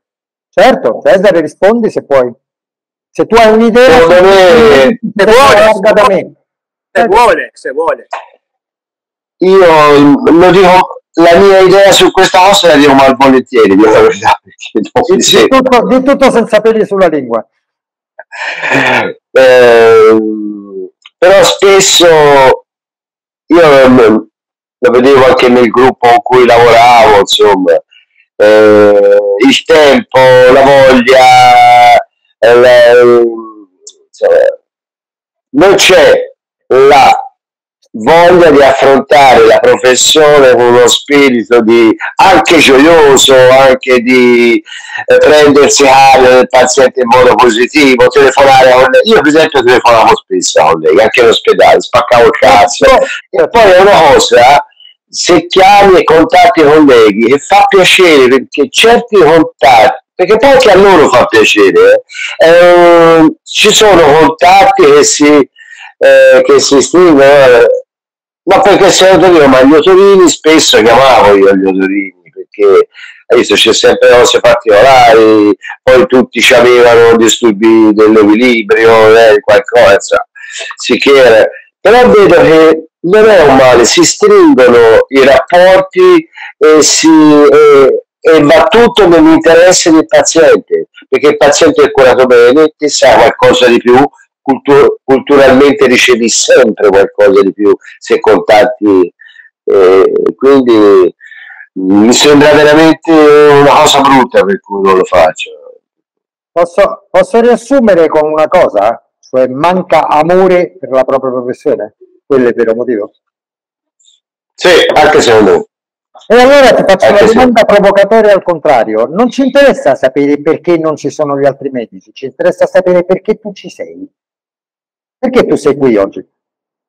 E a me perché mi garbano queste cose, mi, mi piace che lo spirito... carino con me, se così ti ringrazio, ma eh, perché oggi ci No, no, mi piace poi il tuo spirito di metterti in discussione, il tuo spirito aperto, questo spirito, mi piace, mi piace molto, insomma, questa tua... Eh, non mangiare una pizza insieme, tutto al più, capito? La ribollita, visto che siamo a Siena, visto che a Siena, perché tu da medico oggi ci sei? Perché ha interesse per le cose in generale anche del me. Perché tu sei comunque innamorato della medicina, probabilmente, tant'è che sì, sì, le persone sì. ancora stai qua a fare rompere le balle sì. agli argomenti del settore. amore, come fa uno ad andare a giocare alla finale dei mondiali se non gli piace giocare a calcio? Come fa uno eh, sì, uno strumento e fai concerti si odia suonare lo strumento? Mm. Io ho la sensazione che alla maggior parte dei miei colleghi questo lavoro non piaccia. Ah. Penso anch'io. Allora, eh, la medicina generale è un lavoro un po' particolare, no? ti, ti, deve fare piacere non solo il lavoro, ma anche il rapporto con la gente. Se non hai piacere del rapporto, è chiaro, ne ho tutti, poteva pensare che tu pensare, però sì, la gente, io non c'era giorno che discutessi con qualcuno, ma lo facevo con affetto cioè lo facevo, secondo me loro sentivano sotto che io gli volevo bene, ecco, perché anch'io mi sentivo voluto bene. E se crei una situazione eh, così di scambio, di empatia, eh, viene a vantaggio tuo, del tuo lavoro e del paziente e del mondo. Ora però è così, è così, perché è un'armonia che si deve creare. Quante volte ho detto non lo so. Ah, diversi pazienti mi hanno detto, succe- guarda mi hanno detto successivamente, mi è sempre piaciuto di te che quando le cose non le sapevi chiamavi in ospedale e ti facevi guarda me ne ero dimenticato e, e me lo dicevano quando io manco mi ricordavo di averlo fatto cioè, magari un anno o due dopo capito? perché per il paziente fa molto piacere questo approfondimento questa... ma poi fa piacere anche a noi no? Dovrebbe, dovremmo essere un po' tutti in contatto per risolvere i problemi e per, eh, e per anche sentirci più vicini, perché in fondo la medicina non la sapere tutta.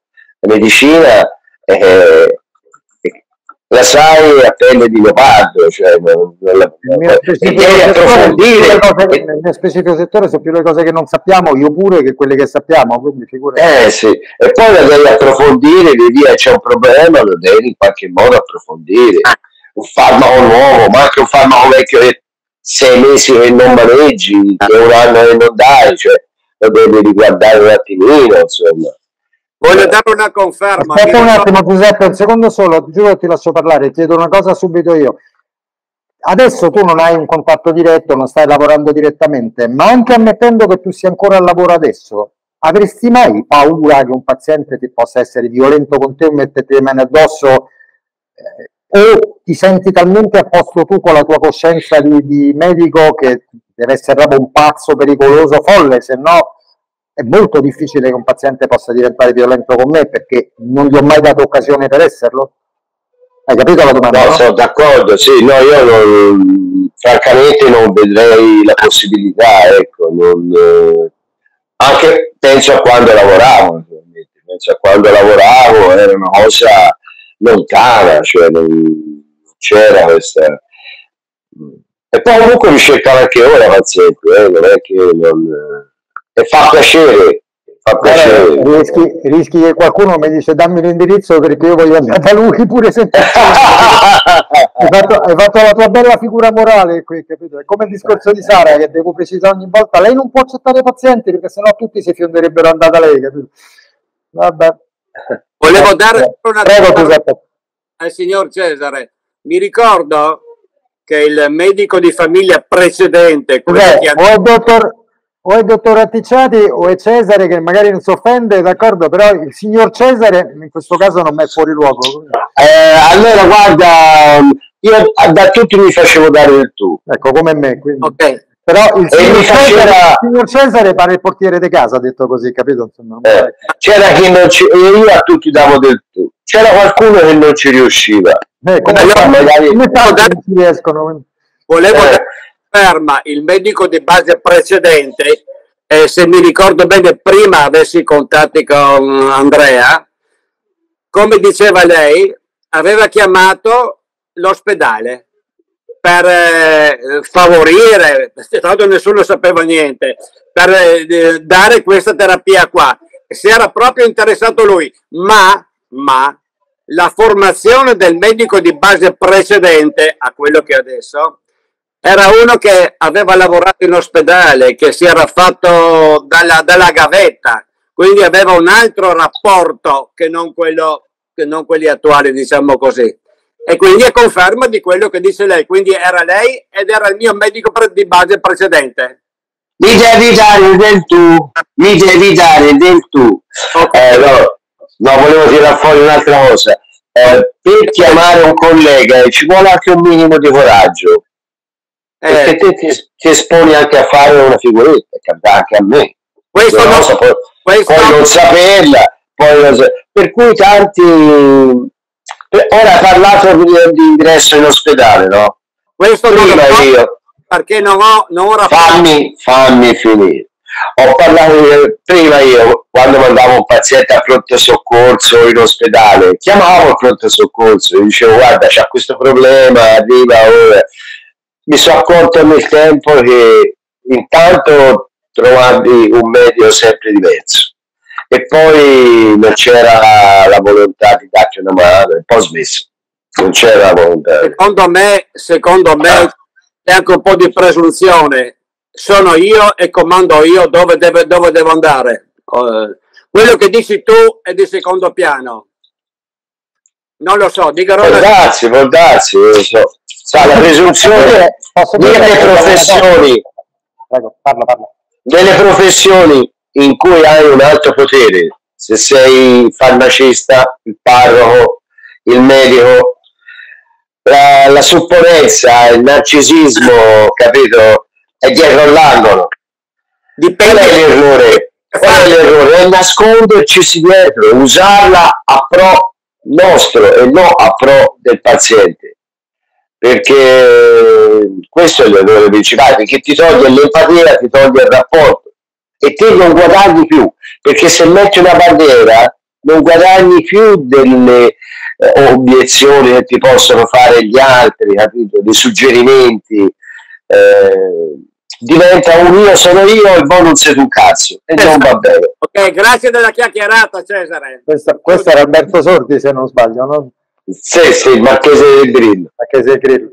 Ehm, due cose volevo dire, un attimo solo, mi permetto. Eh, numero uno, ehm, quello che tu hai detto, io dico sempre la frase, non mi fate complimenti, con i complimenti non ci sono mai cresciuto, fatemi le critiche che quelle mi servono, ma io ho la sensazione che questo spirito di accettare il fallimento, l'errore, le cose, di capire che solo sbagliando possiamo imparare. Tu hai detto prima, sei uno che si mette sempre in discussione, ma come fa uno a crescere se non si mette in discussione? L'altra cosa che secondo me manca, l'altra cosa che secondo me manca, manca amore, ma anche lì, perché io mi metto in discussione? Perché devo apparire umile agli occhi della gente? No, perché amo e sono ambizioso, amo il risultato e se voglio migliorare il mio risultato devo per forza correggere eventuali errori. La seconda cosa, ma aspetto che tu ti risieda, la seconda cosa, volevo no, sento, eh. sì. mi senti? Mi senti ora? Sento anche se non mi vedi, vai. No, lo so, io non volevo guardarti in faccia quando facevo questa domanda molto piccante e provocatoria. Allora, la seconda cosa, nella tua lunghissima esperienza di medico di medicina generale, ci sono stati specialisti che hanno provato in tutti i modi a creare un canale commerciale con te, cioè il cosiddetto comparaggio, cioè dire mandami ai pazienti che io ti do la mazzetta, cioè non mi, quella, no, domanda, no. quella domanda non è se sono i medici a chiederlo, quella domanda è se sono gli specialisti a tentare di acchiappare i medici in base con questo sistema, oppure nella tua esperienza non l'ha fatto? No, non è mai capitato. Quindi forse lì sono un pochino eccessivamente prevenuto io perché io sospetto che non siano tanto ormai i medici a chiedere, ma che siano gli specialisti stessi a proporre, capito? Va bene? Sì. Antonio Notarnicola, prego, eh, fate una cosa, rivolgetevi a lui le domande, che ce l'abbiamo una volta e approfittiamone, eh. di rispondervi molto più di me, quindi io faccio solo da moderatore e da, da appassionato nel sentire, imparo qualcosa pure io. Dunque, volevo dire un paio di cose. Preliminarmente la cura che sto facendo sta funzionando. Eh, quello non ce ne frega assolutamente niente perché non è tema dell'attuale conversazione. Tanto funziona la maggior parte dei pazienti. Ma, noi, ma non ci interessa. A me, a me ne frega. Sì, ma quello, lo dice a me privatamente, non, non, è di interesse collettivo, stiamo eh. parlando di un altro argomento. Vai. Altra cosa, altra, altra cosa, a proposito del, del rapporto con uh, il medico di base, mm-hmm ho sempre mh, avuto un atteggiamento in, in, passato un po' conflittuale, specialmente quando gli portavo le, le tue ricette, insomma, ehm, storceva sempre il naso. Ultimamente, prima di iniziare la, la cura, come ti dicevo, gli ho mandato tutta la documentazione che mi hai mandato, l'ho girata a lui. Appena l'ha letto e sono andato per le prescrizioni, non ha battuto ciglio. Mi ha prescritto tutto quello che era necessario. Evidentemente, evidentemente, che ha letto la, tua, la tua documentazione e si è convinto della bontà della cura. Questo volevo dire, perché è, è importante perché prima ho avuto sempre problemi per le prescrizioni dei medicinali. D'ora invece la situazione si è nettamente appianata. Questo volevo dire. Grazie. Testimonianza interessante, ma il problema è che non avendo cambiato io la variabile, cioè non è che io prima invece non davo spiegazioni o quello che mandavo al medico era incomprensibile e poi adesso l'ho reso comprensibile, sì, posso aver addolcito ancora di più la lettera, è come se uno dicesse, sai che cosa strana, questo film che non avevo mai visto, prima non mi era piaciuto, adesso l'ho visto e mi è piaciuto, ma se non avevi mai visto come faceva a non piacerti prima? Cioè se non se la leggeva la terapia prima e adesso se la legge Bene, fatto la metà del suo dovere, come si dice, capito? Nel senso che non è che io ho migliorato la mia comunicazione con il medico, quella c'è sempre stata. Anzi, anzi, addirittura i miei pazienti storici, e tu lo sei perché ti, tu stavi già, sei venuto pure la Camilluccia, mi pare o no? Sì, c'è stato, io ho riscontrato No, no, voglio dire, voglio dire, i miei pazienti storici gli davo proprio un papiro di, di lettere, che era un PDF proprio con tutte le spiegazioni, come se fosse l'intera cosa del sito, da dare al medico, a quello. C'è sempre stato. C'è sempre Ma non stato. lo so, io le altre volte gli portavo solamente la sua prescrizione e lui storceva il naso. Eh, Adesso avrà avuto, avrà avuto un tic, si chiama Eh, spasmo muscolare, conflitto neurovascolare, che ti devo dire? Però eh, non gli ho dato Insomma- motivo io di storcere il naso, non lo so, eh, io, io questo, io questo noto e questo dico, insomma, Bene, il comportamento... prendiamo, prendiamo il atto della comportamento è cambiato quello vuol, dire solo, quello vuol dire solo che la prima volta ha avuto una reazione allo stesso evento diversa dalla seconda volta, o dalla terza, o dalla quarta. Non credo che quello possa essere imputabile a un mio miglioramento comunicativo, cioè se lui si era letto la terapia la prima volta Vai, vai, non vai, si era convinto. L'ha riletta stavolta, su Google, Telerossa. scusate chiudete il microfono. Siete- difficile moderare le videoconferenze. Allora, se la prima volta lui l'aveva letta e ha storto il naso, la seconda l'ha letta e ha trovato invece diverso, allora esiste ancora la possibilità che io abbia imparato a comunicare meglio in maniera più chiara. Ma se la prima volta non l'ha proprio letta e ha storto il naso, la seconda l'ha letta e non ha storto il naso, forse perché anche se l'avesse letta la prima non avrebbe storto il naso perché era difficile trovare qualcosa da criticare magari. Capito cosa voglio dire? Credo di essere comprensibile, no? Poi, eh, Cesare, stavo dicendo io, nella proposta che ha fatto prima, ho detto, proprio perché siamo sinceri, la mia terapia dei 25-26 pagine veramente ti porta via tempo a te medico se devi leggerla. Avevo detto una buona soluzione potrebbe essere fare dei piccoli video, che c'ha il link il medico per andarci o gli viene girato direttamente riassuntivo, che tanto tra, tra colleghi ci capiamo in 5 minuti, in cui io gli spiego in 5 minuti di video che si ascolta pure quando sta al gabinetto o in, in macchina. Sì, magari. sì, sì. Cosa, pensi che sia una buona idea questa, piuttosto che fargli leggere Mi- mi piace. 5 pagine? Mi piace molto, il video mi piace molto. Io potrei fare un una, cosa che rende le cose più facili al, al medico e magari non si tanto che se deve stare a leggere tutto, i cortisonici si usano perché lo dico due minuti, lo tranquillizzo sugli effetti collaterali e sulle cose. Una cosa è quello che il paziente deve sapere, che deve veramente sapere tutto perché deve firmarmi un consenso informato. Altra cosa che considero inutile, ma ho preso pure l'abitudine di fare quello ormai, perché in realtà una terapia che io ti prescrivo e che tu fai a casa tua, non è che vengo io a obbligarti a metterti i farmaci in bocca, secondo me il consenso Eh. dovrebbe essere implicito. Però, Certo, certo, per fare le certo. cose fatte meglio, addirittura quello, capito? Però al medico, secondo me, non c'è manco bisogno che si legga tutto, perché dovremmo capirci subito, capito?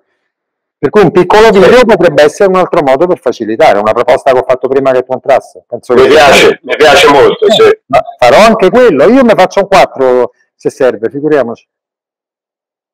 Qualcuno? Che alla fine sta venendo come interessante, pensavamo che venisse bruciata lì, ma grazie all'intervento di Cesare... Allora, se c'è un momento di vuoto, se c'è un momento di vuoto, Per te c'è sempre, per tu c'è la priorità. Esatto. E Sara la ho, fatto un pic- ho fatto un piccolo intervento qualche giorno fa sul ruolo. Siccome si- prima si parlava del ruolo del medico del farmacista, e vi sintetizzo questa cosa. L'uomo che non ha bisogno di identificarsi nel ruolo è perché conosce se stesso e si manifesta con la propria umanità perché dialoga con le proprie scelte, con le proprie imperfezioni e vulnerabilità. Non abbiamo bisogno dell'uomo perfetto, perché noi si sbaglia, cioè, si- per fare le cose per bene non c'è bisogno, uno, non deve essere perfetto, ma abbiamo bisogno che un uomo abbia buona volontà e che non abbia paura di mettersi in discussione. E questo vale non solo per la medicina, ma per tutti i ruoli sociali.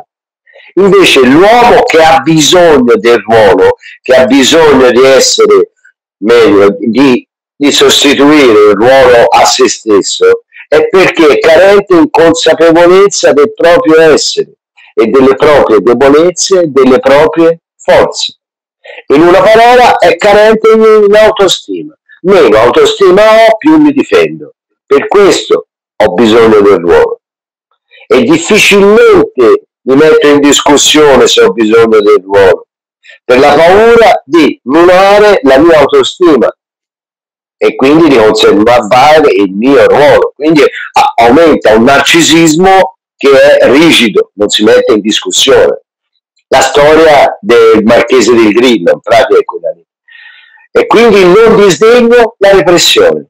Perché io meno mi metto in discussione, meno più, più eh, ho- tendo a essere repressivo, come è successo in questi giorni del Covid, in questi, giorni, in questi anni del Covid, da parte anche degli ordini dei medici purtroppo. L'uomo che non ha bisogno del ruolo porta valore alla propria funzione, perché la riveste di umanità e è portato al confronto. E questo è un valore sociale importante, il confronto. Se io non mi vesto della mia professione, ma la uso per gli altri, sono portato al confronto, telefono all'ospedale, telefono a Andrea, telefono, mi faccio vivo per... L'uomo invece che si identifica nel ruolo tende a usarlo in senso compensatorio e si oppone alla critica perché sente che questo andrebbe a minare direttamente la sua autostima. Cioè dà ruolo, dà al ruolo un valore personale. Se non ho bisogno del ruolo, lo uso in senso sociale, riassumendo. Se, ho se non ho bisogno del ruolo, se non mi serve essere l'essere medico, io lo uso in senso sociale per gli altri. Invece se ho bisogno del ruolo, tendo a conservarlo no? e tendo a essere eh, anche severo con chi mi sta sotto e gentile con chi mi sta sopra. Se mi ordina qualcosa, che ne so, il governo di fare cose che non condivido, tipo tachipirina e vigile accesa, attesa o altre cose, poi le applico senza discussione sul mio... C'era Eric Fromm, uno psicanalista del eh, secolo scorso, molto bravo, che chiamava questa personalità di chi è gentile con i superiori e severo con gli inferiori, la chiamava personalità burocratica, che purtroppo ora si sta un po' allargando.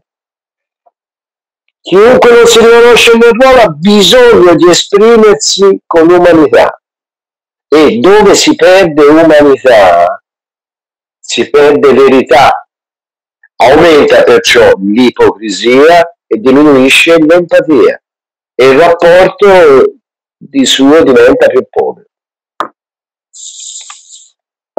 Quindi, Eh, stavolta ci vuole l'applauso ragazzi perché io di sto tipo io sono il primo ma fatelo pure voi a microfoni aperti cioè, io, io appena posso te vengo a trovarmi in ginocchio perché tu mi dai lezioni di, di io ho da imparare capito? finalmente trovo un medico che ho veramente da imparare capito?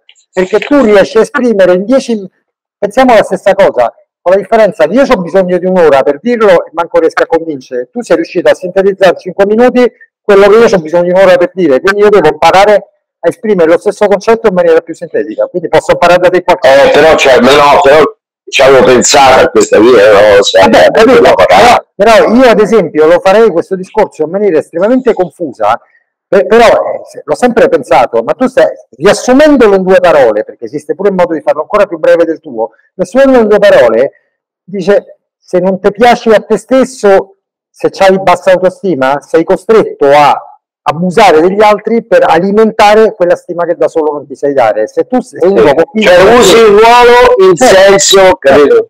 cioè, è facile Perché non lo usi per l'altro? è, è quello Io sono io medico per pazienti come perché io sono un medico senza camice, al di là del fatto che faccio le videoconsulenze, ma perché io non ho bisogno del camice? Capito da questo punto di vista? Perché il camice oggi non viene usato, oggi viene usato non come sistema per rappresentare la pulizia, ma viene utilizzato come ricordati che io ho la divisa e tu no, capito? Cioè la stessa cosa di Giurbano, la stessa cosa di quello. Allora, cioè, c'è- quello che tu hai detto è giustissimo. Allora, cominciamo a riassumere mancanza di amore, mancanza di autostima, questi potrebbero essere i problemi della classe medica. Adesso però io vorrei, abbiamo solo parlato male dei medici, parliamo male dei pazienti. Adesso vorrei che un paziente, chiunque voglia, faccia un esame di coscienza della categoria dei pazienti, cerca di capire e di dire cosa noi potremmo fare per aiutare i nostri medici. Carino come gioco, no? Fatelo. Finora abbiamo solo se ci pensate bene criticato i medici, però non è giusto perché dall'altra parte non è che abbiamo degli istinti di santo, quindi vorrei che qualcuno di voi, che ha il coraggio di farlo, diventasse da paziente quello che propone qualche cosa per andare incontro ai medici. Prego, carina come idea, no? Chi lo vuole fare? L'avvocato, l'avvocato difensore dei medici in questo caso e non l'avvocato accusatore? Dai, eh, boh. Allora, facciamo sempre Cesare a questo punto. Cesare, ora ti puoi lamentare di qualcosa, non lamentare perché tu fai solo lamentele costruttive come me, ho già capito, tu non fai mai lamentele sterili, ti ho già inquadrato. Ti puoi, puoi però dare suggerimenti ai pazienti su come rendere più facile la vita ai medici, visto che non lo fanno loro, lo puoi fare tu?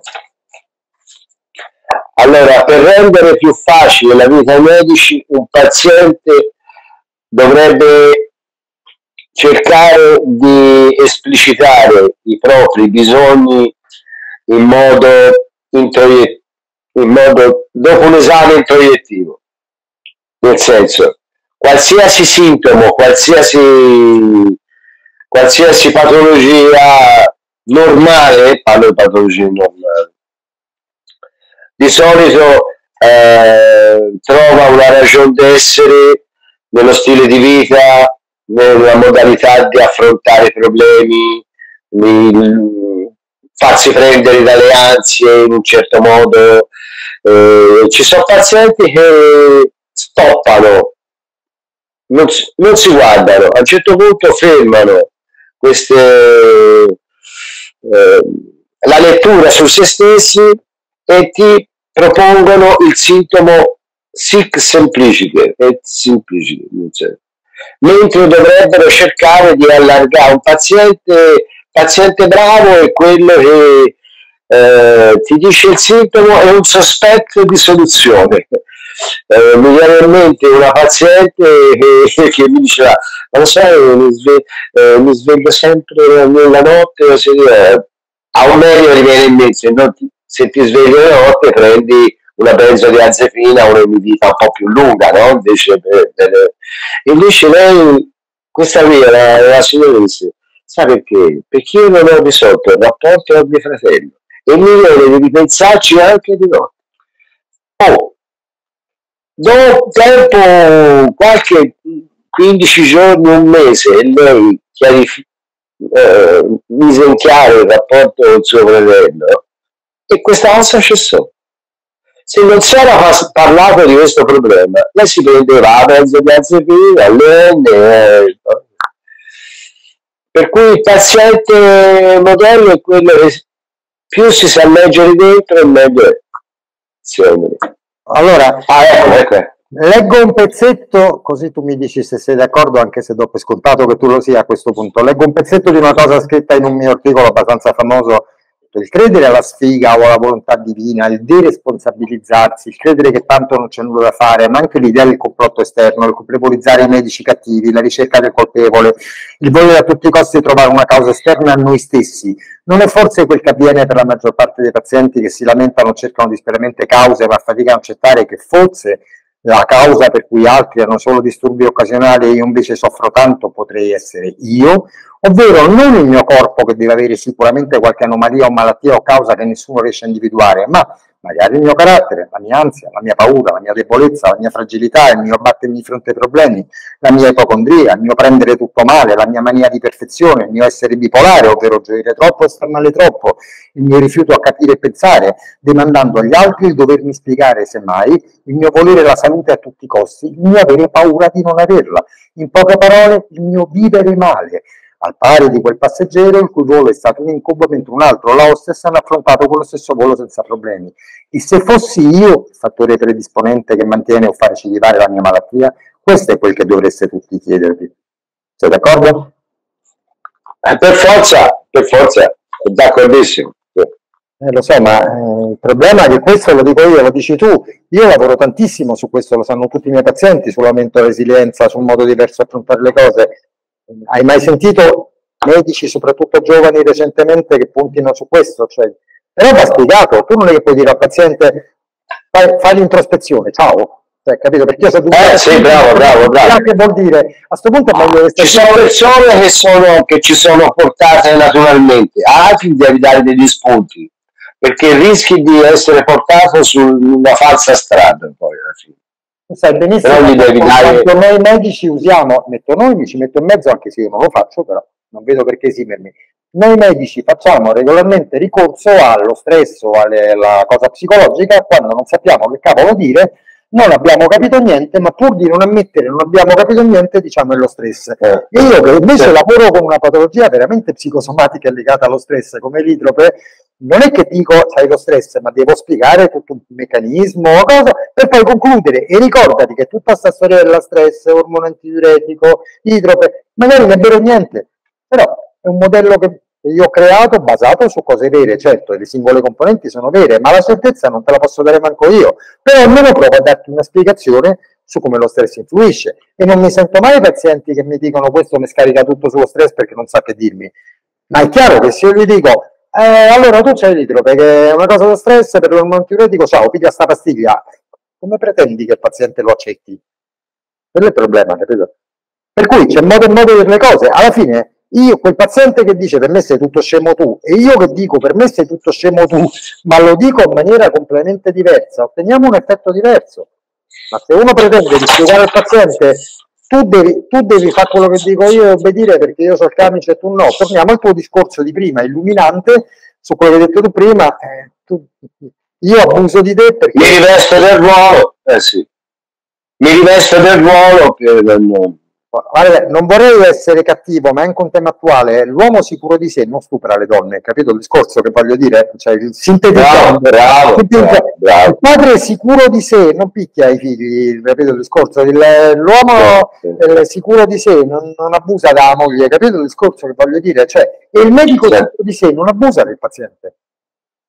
L'abuso è un indice di fragilità del medico che usa Guarda, guardatevi, eh, che La, la, la- la fragilità del potente, non del medico, di quello che in quel momento è stato messo in una posizione superiore. Chiunque è un po' la stessa cosa perché anche il medico è potente.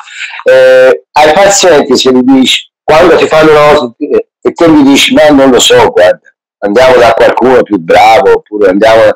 eh, mm, non perdono stima verso di te. Invece se aumentano, aumentano, se tu ammetti di non sapere, l'aumentano. perché sono rassicurati, sanno che te lo Sulla fai. ragione sta, sono rassicurati. Invece sapere le cose a tutti, in, tu- in tutti i modi è una cosa che non, non porta vantaggi né al paziente né al medico. E poi sbagliare nella medicina, ragazzi, è normale. L'errore Ma sbagliare è normale. ai tirocinanti, scusate, ai tirocinanti dic- quando arrivavano dicevo sempre, la prima volta dicevo così, se avete paura di sbagliare o gli errori vi mettono in crisi, avete il primo errore l'avete fatto a scegliere di far meglio, perché la medicina è l'errore, devi continuamente correggere. ma qualunque lavoro, l'importante è che uno faccia le cose cercando di evitare che qualcun altro paghi il tuo sbaglio. Que- Quello che ho sempre fatto, cioè non è che puoi Sì, dire, vabbè, ho ammazzato 10 pazienti sbagliando terapia, ma cosa vuoi che sia? Tutti sbagliano, no, ferma tutto. Cioè, lo sbaglio non è evitabile, ci sono sbagli che non sono evitabili, ma come pensate che io abbia potuto imparare? Mi avete sentito raccontare in videoconferenza l'altro giorno, ragazzi, volete vedere che forse io sta storia allora è fluttuante, quindi è idrope, probabilmente me- è sbagliata e devo rivedere tutto quanto, ma dove le sentite Certo. dire oggi come oggi queste cose? Magari da me e da un medico come Cesare, ma dove le sentite dire queste cose di solito? E Sara pure che sono sicuro che anche lei è così, perché siamo persone che crescono riconoscendo che siamo fallaci come tutti, non, non- non vittime del dovere di performance perfetta, ma il problema è che io non credo che oggi come oggi gliene freghi manco più niente al medico, a molti medici della performance perfetta, che proprio manco si pone il problema dell'efficacia della sua performance sul paziente, diventa routine. Cioè, il manuale, il manuale e il codice stabiliscono che tu Tac, hai questa malattia, questa è la tua terapia, manca completamente qualunque tipo di... Non è empatia col paziente, perché io pure, io pure non posso amare il paziente, io lo dico sempre, io individualmente le voglio bene a tutti, collettivamente ben piccherei a tutti quanti come categoria i pazienti, non ne sopporto. ma individualmente io non ho problemi specifici con nessuno, ma collettivamente io considero la massa dei pazienti, ma chi mi ha mandati questi? Loro lo sanno, glielo dico sempre, collettivamente, capito? Però individualmente il problema è che secondo me molti medici non sanno più distinguere tra individuale, rapporto individuale e rapporto collettivo di categoria e i pazienti lo stesso. I medici sono così. Boni, Cesare è medico, io sono medico, Sara è medico. Noi non siamo così come quello di cui accusate altri medici. E sai quanti ce ne stanno ottimi, che sono ottimi medici e non meritano assolutamente di essere etichettati uguali agli altri? Mica non ci stanno. E se io ragionassi, poiché mi hanno fatto girare le balle tre pazienti, d'ora in poi io mi comporterò male con tutti, ma non l'ho mai fatto. Non l'ho mai fatto. Quando io mi comporto in una certa maniera, rivoluziono la terapia, quando io dico basta, non ci sono più personalizzazioni, adesso decido io la terapia, non è perché mi girano le scatole in quel momento, è perché nell'interesse del paziente mi rendo conto che lasciargli il diritto di scelta a volte può essere stato un errore. Il cambiamento io l'ho fatto proprio per questo motivo, perché a volte la gente potrebbe dire mamma mia questo è un nazista, ma come ragiona? Quando io dichiaro ufficialmente io sono contro la democrazia. Però la spiego, non è che la dica e basta. Secondo me dovrebbe avere diritto di voto solo chi sa per quale motivo sta esprimendo quel voto. No che go perché, per chissà cosa voterò, quella per me non è democrazia. Per me hanno tutti il diritto di esprimere la propria opinione, chi però prima si è messo in condizioni di avere un'opinione. Non che chiunque apre bocca gli dà fiato. Ora, mia, il mio ragionamento era tutti i pazienti io li metto in condizioni di sapere in modo che poi sono in grado di esprimere la propria opinione. Io ho molto più rispetto per una persona che è completamente contraria al mio parere, ma mi fa un discorso preparato, a uno che apre bocca gli dà fiato, eh, come la storia del medico diciamo prima, un giorno a storce il naso, un giorno cosa, non è cambiato niente, solo che una volta si prepar- non si è preparato, un'altra no. Per cui io sono dispostissimo a dialogare con chiunque la pensi contro me. Spero di trovare tante persone contrarie alla mia opinione, perché così imparo.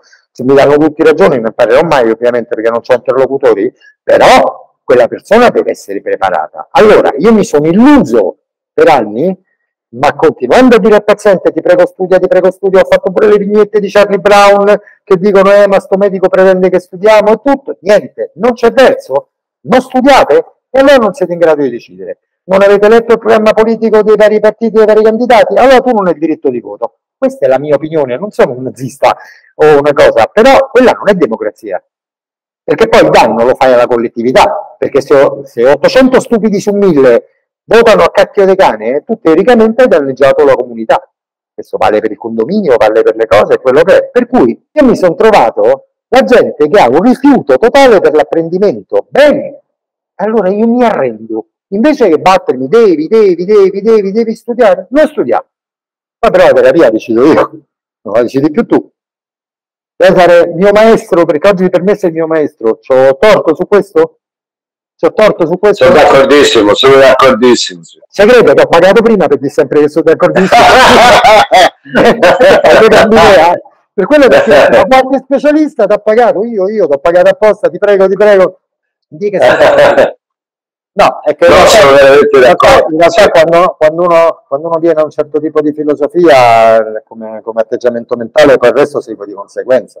È chiaro che se un paziente dice scusi dottore, io ho studiato, io non sono mica tanto d'accordo con questo discorso, ma io figurati, a te ti personalizzo tutto, ascolto la tua opinione, imparo, io imparo dai pazienti, eh.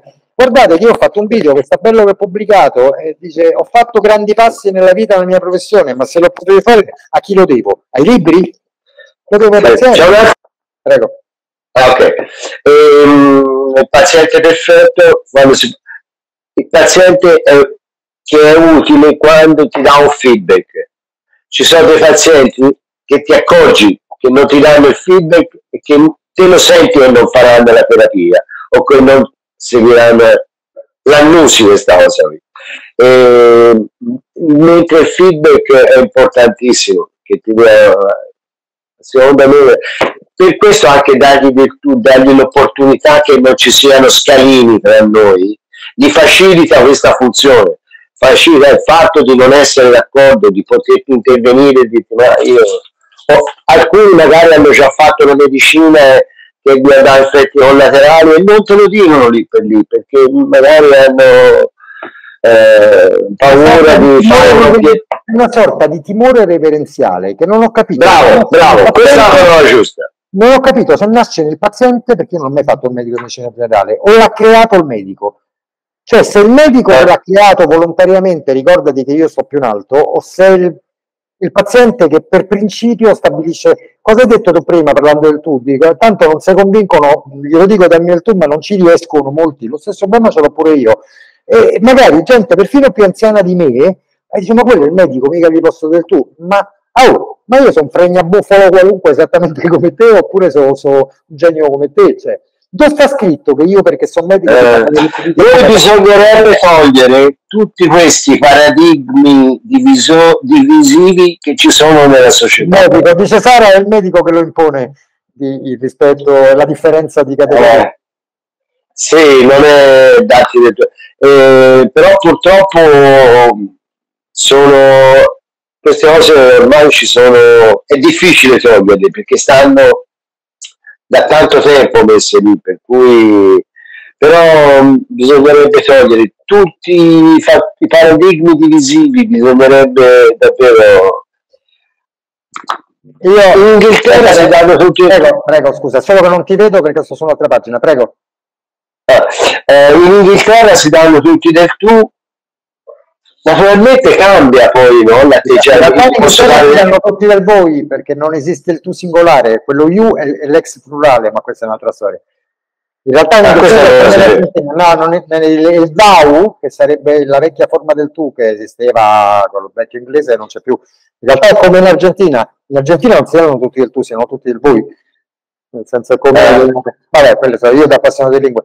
Io, scusa un attimo solo, io ad esempio sul questionario del paziente, perché anche quello non può essere imposto, scrivo tendenzialmente anche per instaurare un rapporto più personale, confidenziale e meno subordinato con il paziente, rispetto al quale non mi considero affatto a un livello superiore, tendo a farmi dare del tuo e farmi chiamare Andrea con tutti i pazienti, reciprocamente, indipendentemente da eventuali differenze di età tra di noi, come d'altronde si usa anche tra colleghi medici. È d'accordo o preferisce mantenere un rapporto più formale e professionale? E il paziente risponde se è d'accordo o no, perché non posso nemmeno imporre quello, non sarebbe giusto. Non è tu mi devi dare del tu, o io, o io mi prendo il diritto di darti del tu, però alla fine mi rispondono tutti quanti, certo, ci mancherebbe, ma ho scritto il motivo, cioè, io non valgo più di te, capito? Quello è il problema, nel senso che o ci diamo, cioè per me quel lei è mantenere la distanza. Ora, quello che io spiego sempre ai pazienti, attenzione, non la puoi mantenere a distanza. Per il tipo di Allora, una cosa mi piace, la distanza non la puoi mantenere, io devo farmi i cavoli tuoi, entrare nella tua intimità, parlare di sesso con te, sapere anche le tue turbe psicologiche, devo essere in non importa se poi non siamo veri amici, ma io devo essere tuo amico. E con gli amici sì, dai, sì, eh, sì, poi un'amicizia, cosa- dire, un'amicizia, eh, quello che ci giochi solo a pallone, basta, eh. non è un vero amico, è col compagno di squadra che ci gioca a calcetto tutti i mercoledì, da questo punto di vista, ma non gli puoi dare lei. Prego lei, sembra se no la partita dei fantozzi, prego Eh, lei, sì, tiri sì. la palla, che sono libero, cioè dai, su via. Poi non siete amici, perché vi vedete solo per giocare a calcetto e non vi spartite nient'altro, ma in quel momento fate parte di una squadra. Io non pretendo di essere amico dei pazienti, con qualcuno lo sono, eh, se proprio creata vera amicizia, ma in quel rapporto dobbiamo essere fratelli, amici, intimi. Quello è il problema. E che, che pretendi dall'amico? Che gli puoi girare le spalle e non ti accoltella? Che non c'è il rischio, pretendi la verità e che ti dica pure a brutto imbecille stai sbagliando e anche il paziente lo può fare con me. Ma de- tu ti sei perso una parte prima che non c'eri, quando io dicevo mi dispiace, ma se c'è un conflitto tra medico e paziente, io non difenderò il medico per principio perché me lo impone il codice deontologico, io difendo chi c'ha ragione, perché il paziente, che non vuol dire che sia per forza il paziente, eh, vada bene, non è che vado contro il medico se c'ha ragione il medico e tolto il paziente, ma io me ne sbatto allegramente il codice deontologico, mi buttassero fuori per 3-7 mesi e mi radiassero per tutta la vita, e l'ho detto chiaro, io, il paziente, ho un dovere di verità, perché se no ho tradito la fiducia di chi ha riposto in me fiducia. Sì, bravo, bravo. Sì. Non posso mentire. E poi ci starei male, dai, a- avere mollato al paziente delle prescrizioni di cui non sono convinto. dai, non ci starei, non ci starei bene. Sai una cosa, hai parlato, mi ha fatto venire in mente una cosa che mi faceva estremamente piacere. Quando gli impiegati dell'USL, ce n'era uno in particolare, mi diceva... Scusa Cesare, quando- se interveni a sto punto intervieni quando ti pare, tanto siamo in chiusura, ci mancherebbe. eh, Prego. E mi diceva che eh, allo sportello diceva lei chi dottore c'ha? Io c'ho il dottor qui, io c'ho il dottor là e mi diceva io c'ho Cesare mi faceva piacere questa che dicesse io c'ho Cesare invece eh, Ti sei rovinato oggi perché non, non ti conoscevo da questo punto di vista. Tu vedi quanto ti romperò le scatole per farmi dare consigli di comportamento con la gente che io ti ho detto ti maestro oggi. Eh no, no, no, ti preoccupate, sei, ti sei creato un bel guaio oggi. Perché io quando come- come Sara, Posso- come Sara, Sara purtroppo ha commesso un errore inumano con me. Mi ha dimostrato che una persona talmente competente, talmente con la voglia di ragionare, che gli scasso l'anima in continuazione per ogni cosa. Eh, signori, io, io quando trovo i che me l'hanno retta, poi ne approfitto, eh, non sono una sanguisuga, eh, ti sei messo male pure tu oggi. Lei fa la parte tecnica, ma tu fai la parte comportamentale con i pazienti, eh, quindi io sono pischello che c'è ancora bisogno di imparare tante cose, non ti preoccupare. eh, ma come tutti Con, i miei, con i miei 60 anni ho bisogno, c'ho bisogno di imparare tante siamo cose. tutti nella stessa Ah, io, io ho partecipato, ecco, dico solo due cose in velocità. fino adesso Perché- perché abbiamo dato la parola a lui, ma No, a ma ti ricordo che io sono una tua paziente, ecco, eh, non è perché non ho più avuto recidive che non sono una tua paziente e ripeto, non ho avuto recidive per le Mi tue dispiace, terapie. mi Chiusa dispiace, parentesi. scusami, sei stata retrocessa, volgare super consulente per ogni problema medico che c'è. Non te voglio più Ecco, come quindi- paziente, ma, ma non te ne andare come, come consulente tecnico sulle cose, che ti rompo le scatole. Quindi ecco, io anche oggi partecipo in qualità di paziente, poi sono anche medico, nel senso che sono un medico No, specialista. quindi- tranquillo. Ecco, sono spe- medico specialista, non sono medico di medicina generale e in più lavoro anche in ospedale, quindi in due setting diversi rispetto eh, a Cesare Andrea. Mi viene semplicemente da fare delle osservazioni anche proprio tecniche sulle domande che sono state fatte. Intanto bellissima l'idea del video perché spesso il medico mi dice io non ho tempo di leggere tutte le cose che magari eh, anch'io inoltrato. Allora, con tutto rispetto, non avrà tempo manco di leggere il video. Mi permetto, scusa, di interromperti una cosa. Mm. Ho detto prima che eravamo fuori registrazione. Quando io faccio le videoconferenze di due ore, guardano 10 minuti. Se faccio i video di mezz'ora, guardano 5 minuti. Se faccio i video di 3 minuti, guardano 15 secondi i pazienti. Ma non Ma, credo che i medici ecco, io Cioè, se io mi mando il video, secondo me- comunque sarà troppo anche quello, secondo me. Mi sbaglierò, però. Ma insomma, magari in macchina mentre guidano cose, insomma, gli si dà uno strumento in più, poi è logico che c'è chi accoglierà lo strumento e chi no, come, come sempre. E do una precisazione circa la questione dei farmaci che eh, diceva Marisella. Allora, il, mm, il farmaco, mm, diciamo, di, eh, sì, il generico, eh, il medico che lo prescrive può scrivere nell'impegnativa nome commerciale suggerito o addirittura può mettere il codice di non sostituibile. Ecco, quindi eh, il medico che prescrive è libero di ehm, consigliare al farmacista anche di non sostituire il nome commerciale.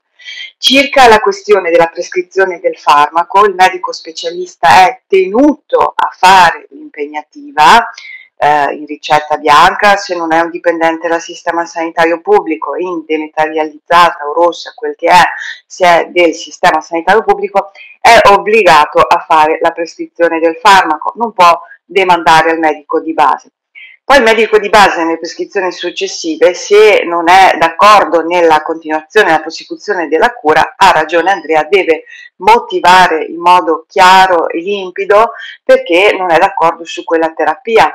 Io spesso invito i pazienti a eh, dire, anzi lo scrivo proprio nella lettera, eh, lascio i miei recapiti di telefono, di confrontarsi nel momento in cui non sono d'accordo sui farmaci o magari eh, loro sanno delle cose del paziente che io non so, ecco, quindi eh, è importante mantenere la comunicazione.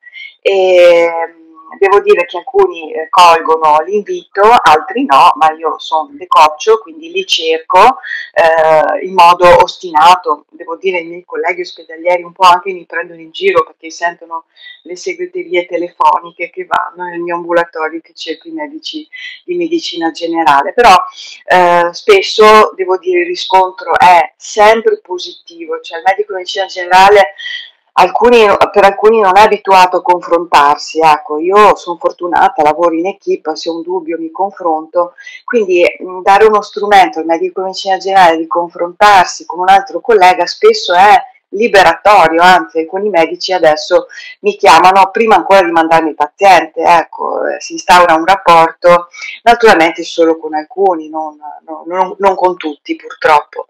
E, mh, circa poi la questione del, eh, del Whatsapp. Scusa, scusa eh, Sara, ti interrompo solo perché passi a un altro tema, eh, così passi a un altro tema. Eh, ci può essere il fatto che io sono un libero professionista e tu sei comunque una persona che lavora in un ospedale, in una struttura pubblica, è quello che è, cioè il diverso tipo di rispetto che hanno nei tuoi confronti rispetto al mio?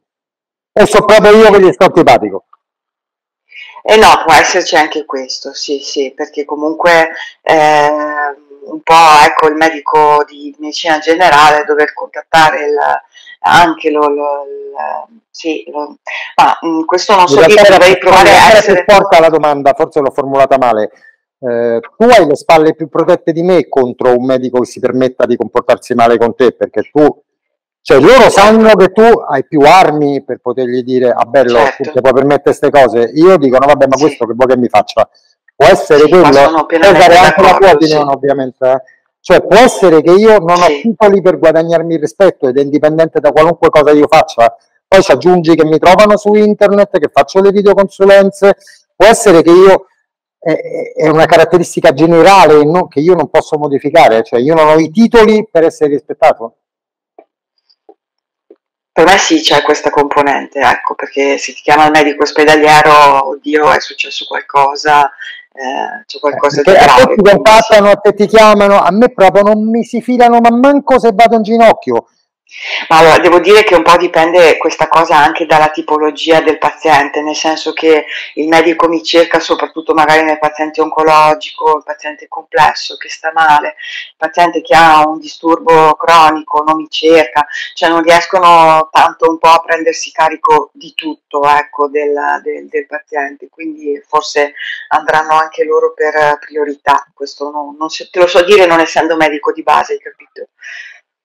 Mm, E poi circa la questione della- dell'utilizzo di WhatsApp, tu sai che i medici di medicina generale, questo lo confermerà anche il dottor Cesare, ehm, non sono dei dipendenti pubblici, quindi organizzano loro il loro lavoro eh, decidendo loro quali strumenti utilizzare.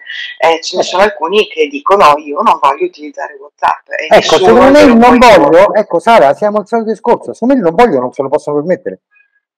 Eh lo so, invece da contratto se lo possono permettere, hai Eh, capito? mica tanto, mica tanto, nel senso il non voglio, cioè il non voglio, se tu sei in grado di offrire un servizio di pari qualità al paziente, sì, ma se tu offri un servizio di cattiva qualità al paziente, il paziente ha un rapporto contrattuale con Stato o Regione del quale pretende un servizio di qualità. Infatti, se il servizio di qualità non c'è, spetta anche al paziente, e questo lo sai perché l'ho detto spesso, e invito anche i miei pazienti a Se il medico comunicando con colombi viaggiatori, con piccioni viaggiatori e con i segnali di fumo è in grado di offrire la qualità, certo che c'ha diritto a scegliere lui come farlo, mica nessuno può obbligare a usare WhatsApp, ma se il Certo. medico per colpa del non voler usare WhatsApp non è in grado di assistere i suoi pazienti, no, mica la stessa cosa, sbaglio io? Ditemi voi, No, no, eh? no, ma va segnalato anche perché eh, è vero che, che, mh, hanno un contratto di convenzione, però il responsabile di medici in Cina generale è un medico dell'azienda, quindi va eh, segnalato l'ufficio relazioni con il pubblico, in alcuni casi se uno vuole anche l'ordine dei medici, ecco, Eh, devo rileggere, tu c'eri, credo, ma non c'era Cesare, devo rileggere per capire a cosa mi riferisco alla prima parte. Il medico esercita un dovere nei confronti del paziente per conto del suo datore di lavoro che non è il paziente stesso ma la comunità rappresentata dalle istituzioni che si avvalgono della sua area professionale per offrire al paziente i servizi previsti da una sorta di contratto collettivo tra Stato o regione che sia e cittadini. Nell'esercitare questo dovere ha degli obblighi ma anche dei diritti. Ok? Poi il paziente in teoria in questo rapporto non ha alcun dovere contrattuale né diretto né indiretto nei confronti del medico, ma è solo beneficiario della prestazione nei limiti di quanto concesso dal suo rapporto contrattuale con Stato o Regione. Scusate, ho detto una cosa sbagliata. Quindi il medico certo che può allora, io sono libero di dare i farmaci che voglio al paziente, di avere la mia autonomia decisionale, ma sono obbligato a fare il mio massimo Certo. perché il paziente stia bene. Sono pienamente d'accordo. Sì, sì, sì, ho un obbligo, come io svolgo quell'obbligo sono affari miei. Certo, no, ma è chiarissimo, limpido. Ma se poi, se poi per colpa della tua scelta il paziente ha una conseguenza, ne sei responsabile anche del non usare WhatsApp quando potevi usare WhatsApp. Tu medico sei Certo, della tenuto a fare di tutto, tu medico sei tenuto a fare di tutto per rendere il più agevole possibile il rapporto al paziente, nei limiti dell'essere Sì. umano. E poi siamo sempre alle solite, quelle sono le norme io sto- di contratti, io sto parlando di rispetto umano, che ci dovrebbe essere prima delle norme, prima dei contratti. Certo.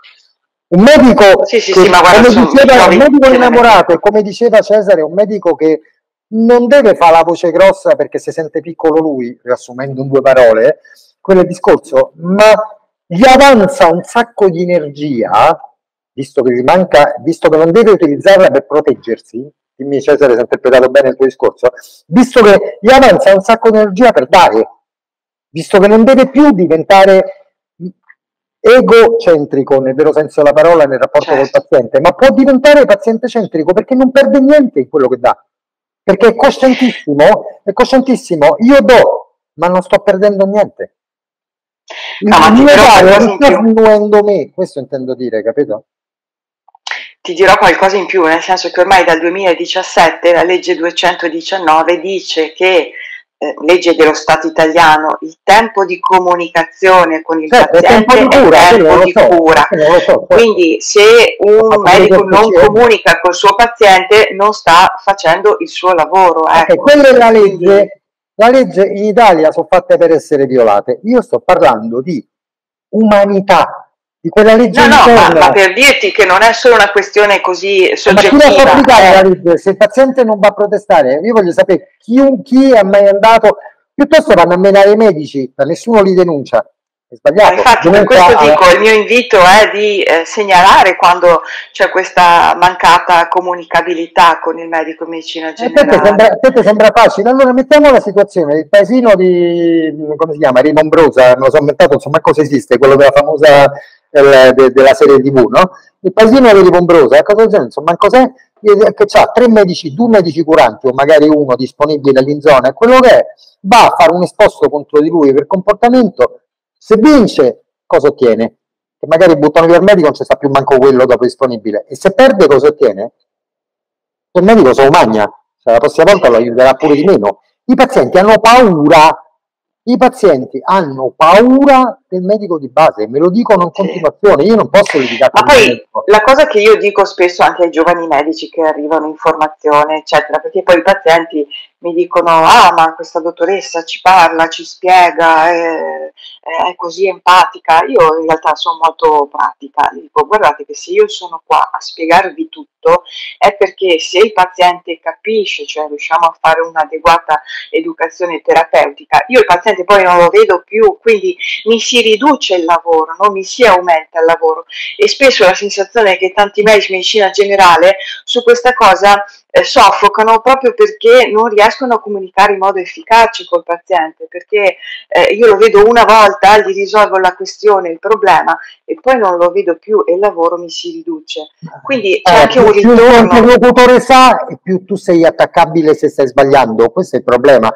Per cui io mi sento, come dicevamo prima, talmente sicuro di me, il che non vuol dire che sono convinto di sapere, il contrario, sono convinto di essere moralmente nel giusto, non scientificamente nel giusto, è diverso perché quello che sa le cavolate che sto dicendo e facendo, che infatti lo confesso sempre, ma io sono convinto che sto facendo correttamente il mio dovere e che sono irreprensibile dal punto di vista e quindi io metto il paziente in condizioni di sapere il più possibile per beccarmi in castagna, ma non lo considero una cosa negativa, lo considero un aiuto che il paziente mi può dare a me. Certo. Cioè, Certo. il paziente lo voglio mio, col- io faccio articoli in continuazione sul ruolo attivo del paziente. Mo si sono svegliati che fanno i corsi CM, basta con l'atteggiamento paternalistico, il paziente deve essere trattato alla pari, ma poi nella pratica non lo fanno, lo dicono, ma non lo fanno. Io l'altro, giorno, No, io l'altro giorno ho messo un video, l'hai visto tu, Cesare, credo di no. Ho messo un non so, l'avevo messo pure nel gruppo, nel gruppo medici, però. Ho messo un video, signori, io d'ora in poi userò la comunicazione empatica. Eh, sì? precise domande, aspetterò la risposta, perché quando vedo che il paziente proprio non capisce, gli dirò con una domanda molto chiara, ma che l'ho fatto così, ma tu ce fai o ce sei? Nel senso che in realtà Certo. ci sono quelli che proprio so de legno, come si vuol dire, no? Però eh, ho capito, pure, pure il medico di quelli devo essere. Non è Eh che sì, posso selezionare pazienti, prendere solo quelli intelligenti, capito? Però Certo, ma questa professione, fanno guarda, dico, pure a me mi fanno girare le balle quando i pazienti fanno 16 volte la stessa domanda eh, o non capiscono. Però, eh, però fa parte del mio lavoro, che dicevamo prima, cioè, eh, allora che hai fatto a fare il medico? Se volevi la vita Certo. facile, lavori meglio. Eh? Secondo me il, il medico quando fa il passaggio del capire che eh, non deve curare il paziente ma prendersi cura, cioè il passaggio dal Certo. to cura al to care, eh, là sta la svolta, nel senso che svolta la relazione col paziente e ottiene anche più risultati nella sua professione, non solo di ehm, migliorare il suo approccio, la, la voglia di andare a lavorare, ma anche eh, ne guadagna in termini di risultato. Sta là proprio la, la differenza. Io questo agli studenti, anche di medicina, quando faccio lezione, eccetera, eh, gli- glielo spiego perché se non riescono a capire questa differenza, poi loro stesso non, non riescono a continuare a fare questa professione. Hai capito? E io direi, se nessuno deve intervenire ancora, chiudiamo perché chiudiamo, però a differenza delle solite volte in cui le conclusioni le faccio io, io qui ho i miei due piccoli maestri, uno per una cosa e uno per un'altra, che vorrei che le conclusioni stavolta le faceste voi. Cioè, che messaggio finale, ognuno di voi separatamente, Cesare e Sara, dareste alla categoria dei pazienti, intesa come ai pazienti, e ai medici di base?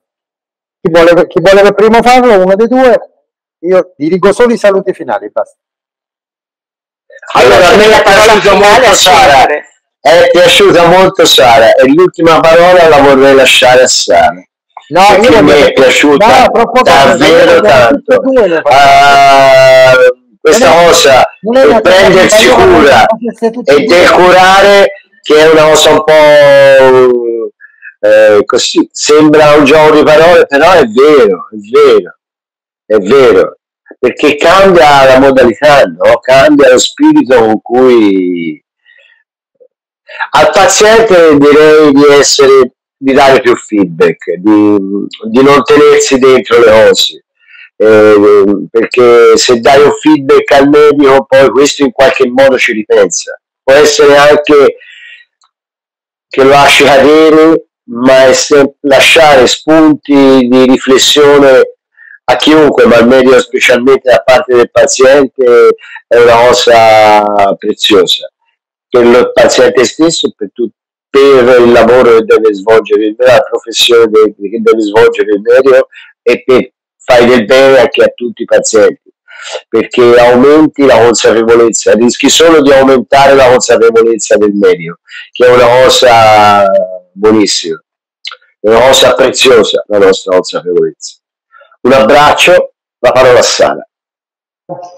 Ah, io do solo un invito ai pazienti, ecco, Ehm, facciamo parte della stessa squadra, ecco, non siamo tra barricate, ma, ma siamo proprio compagni di squadra e il risultato lo portiamo a casa solo insieme e quindi dobbiamo trovarci a metà strada. Eh, quindi l'invito è proprio questo, al paziente di mettersi in gioco e anche al medico di mettersi in gioco per insieme portare a casa il, risu- il risultato e vincere la partita. Ecco, io, io la penso così. Allora, io ringrazio, io ringrazio chi ancora c'è e anche chi c'era prima, comunque perché poi abbiamo anche tirato un po' per le lunghe. Cesare, grazie mille, te sei rovinato oggi, come Sara è rovinata anche lei, nel senso poi vedi quante volte ti romperò le scatole per avere dei consigli di atteggiamento con i pazienti, cioè così c'ho- vabbè, cioè, mi sono creato il consulente, il consulente specifico per una cosa. Grazie a tutti quanti, il- non possiamo manco fare la gran tradizione, ma dai, siamo pochi, ma aprite i microfoni salutatevi tutti insieme e alla fine grazie perché soprattutto Cesare in particolare, Sara tanto ci sta sempre, ma hai letteralmente salvato la videoconsulenza di la videoconferenza di oggi. Sara, è inutile che ti dica grazie, ci stai sempre, non, non mi abbandoni mai. Però grazie mille Cesare perché ci hai veramente trasformato in una cosa estremamente interessante, quella che rischiava di diventare un buco nell'acqua. Ok? Dai, aprite tutti i microfoni, saluto collettivo con i pochi che siamo rimasti. Grazie a tutti, Ciao, grande buona domenica. Ciao, ciao, ciao, buona domenica. Buona domenica. Ciao a tutti e mille grazie. Buona domenica. Ciao.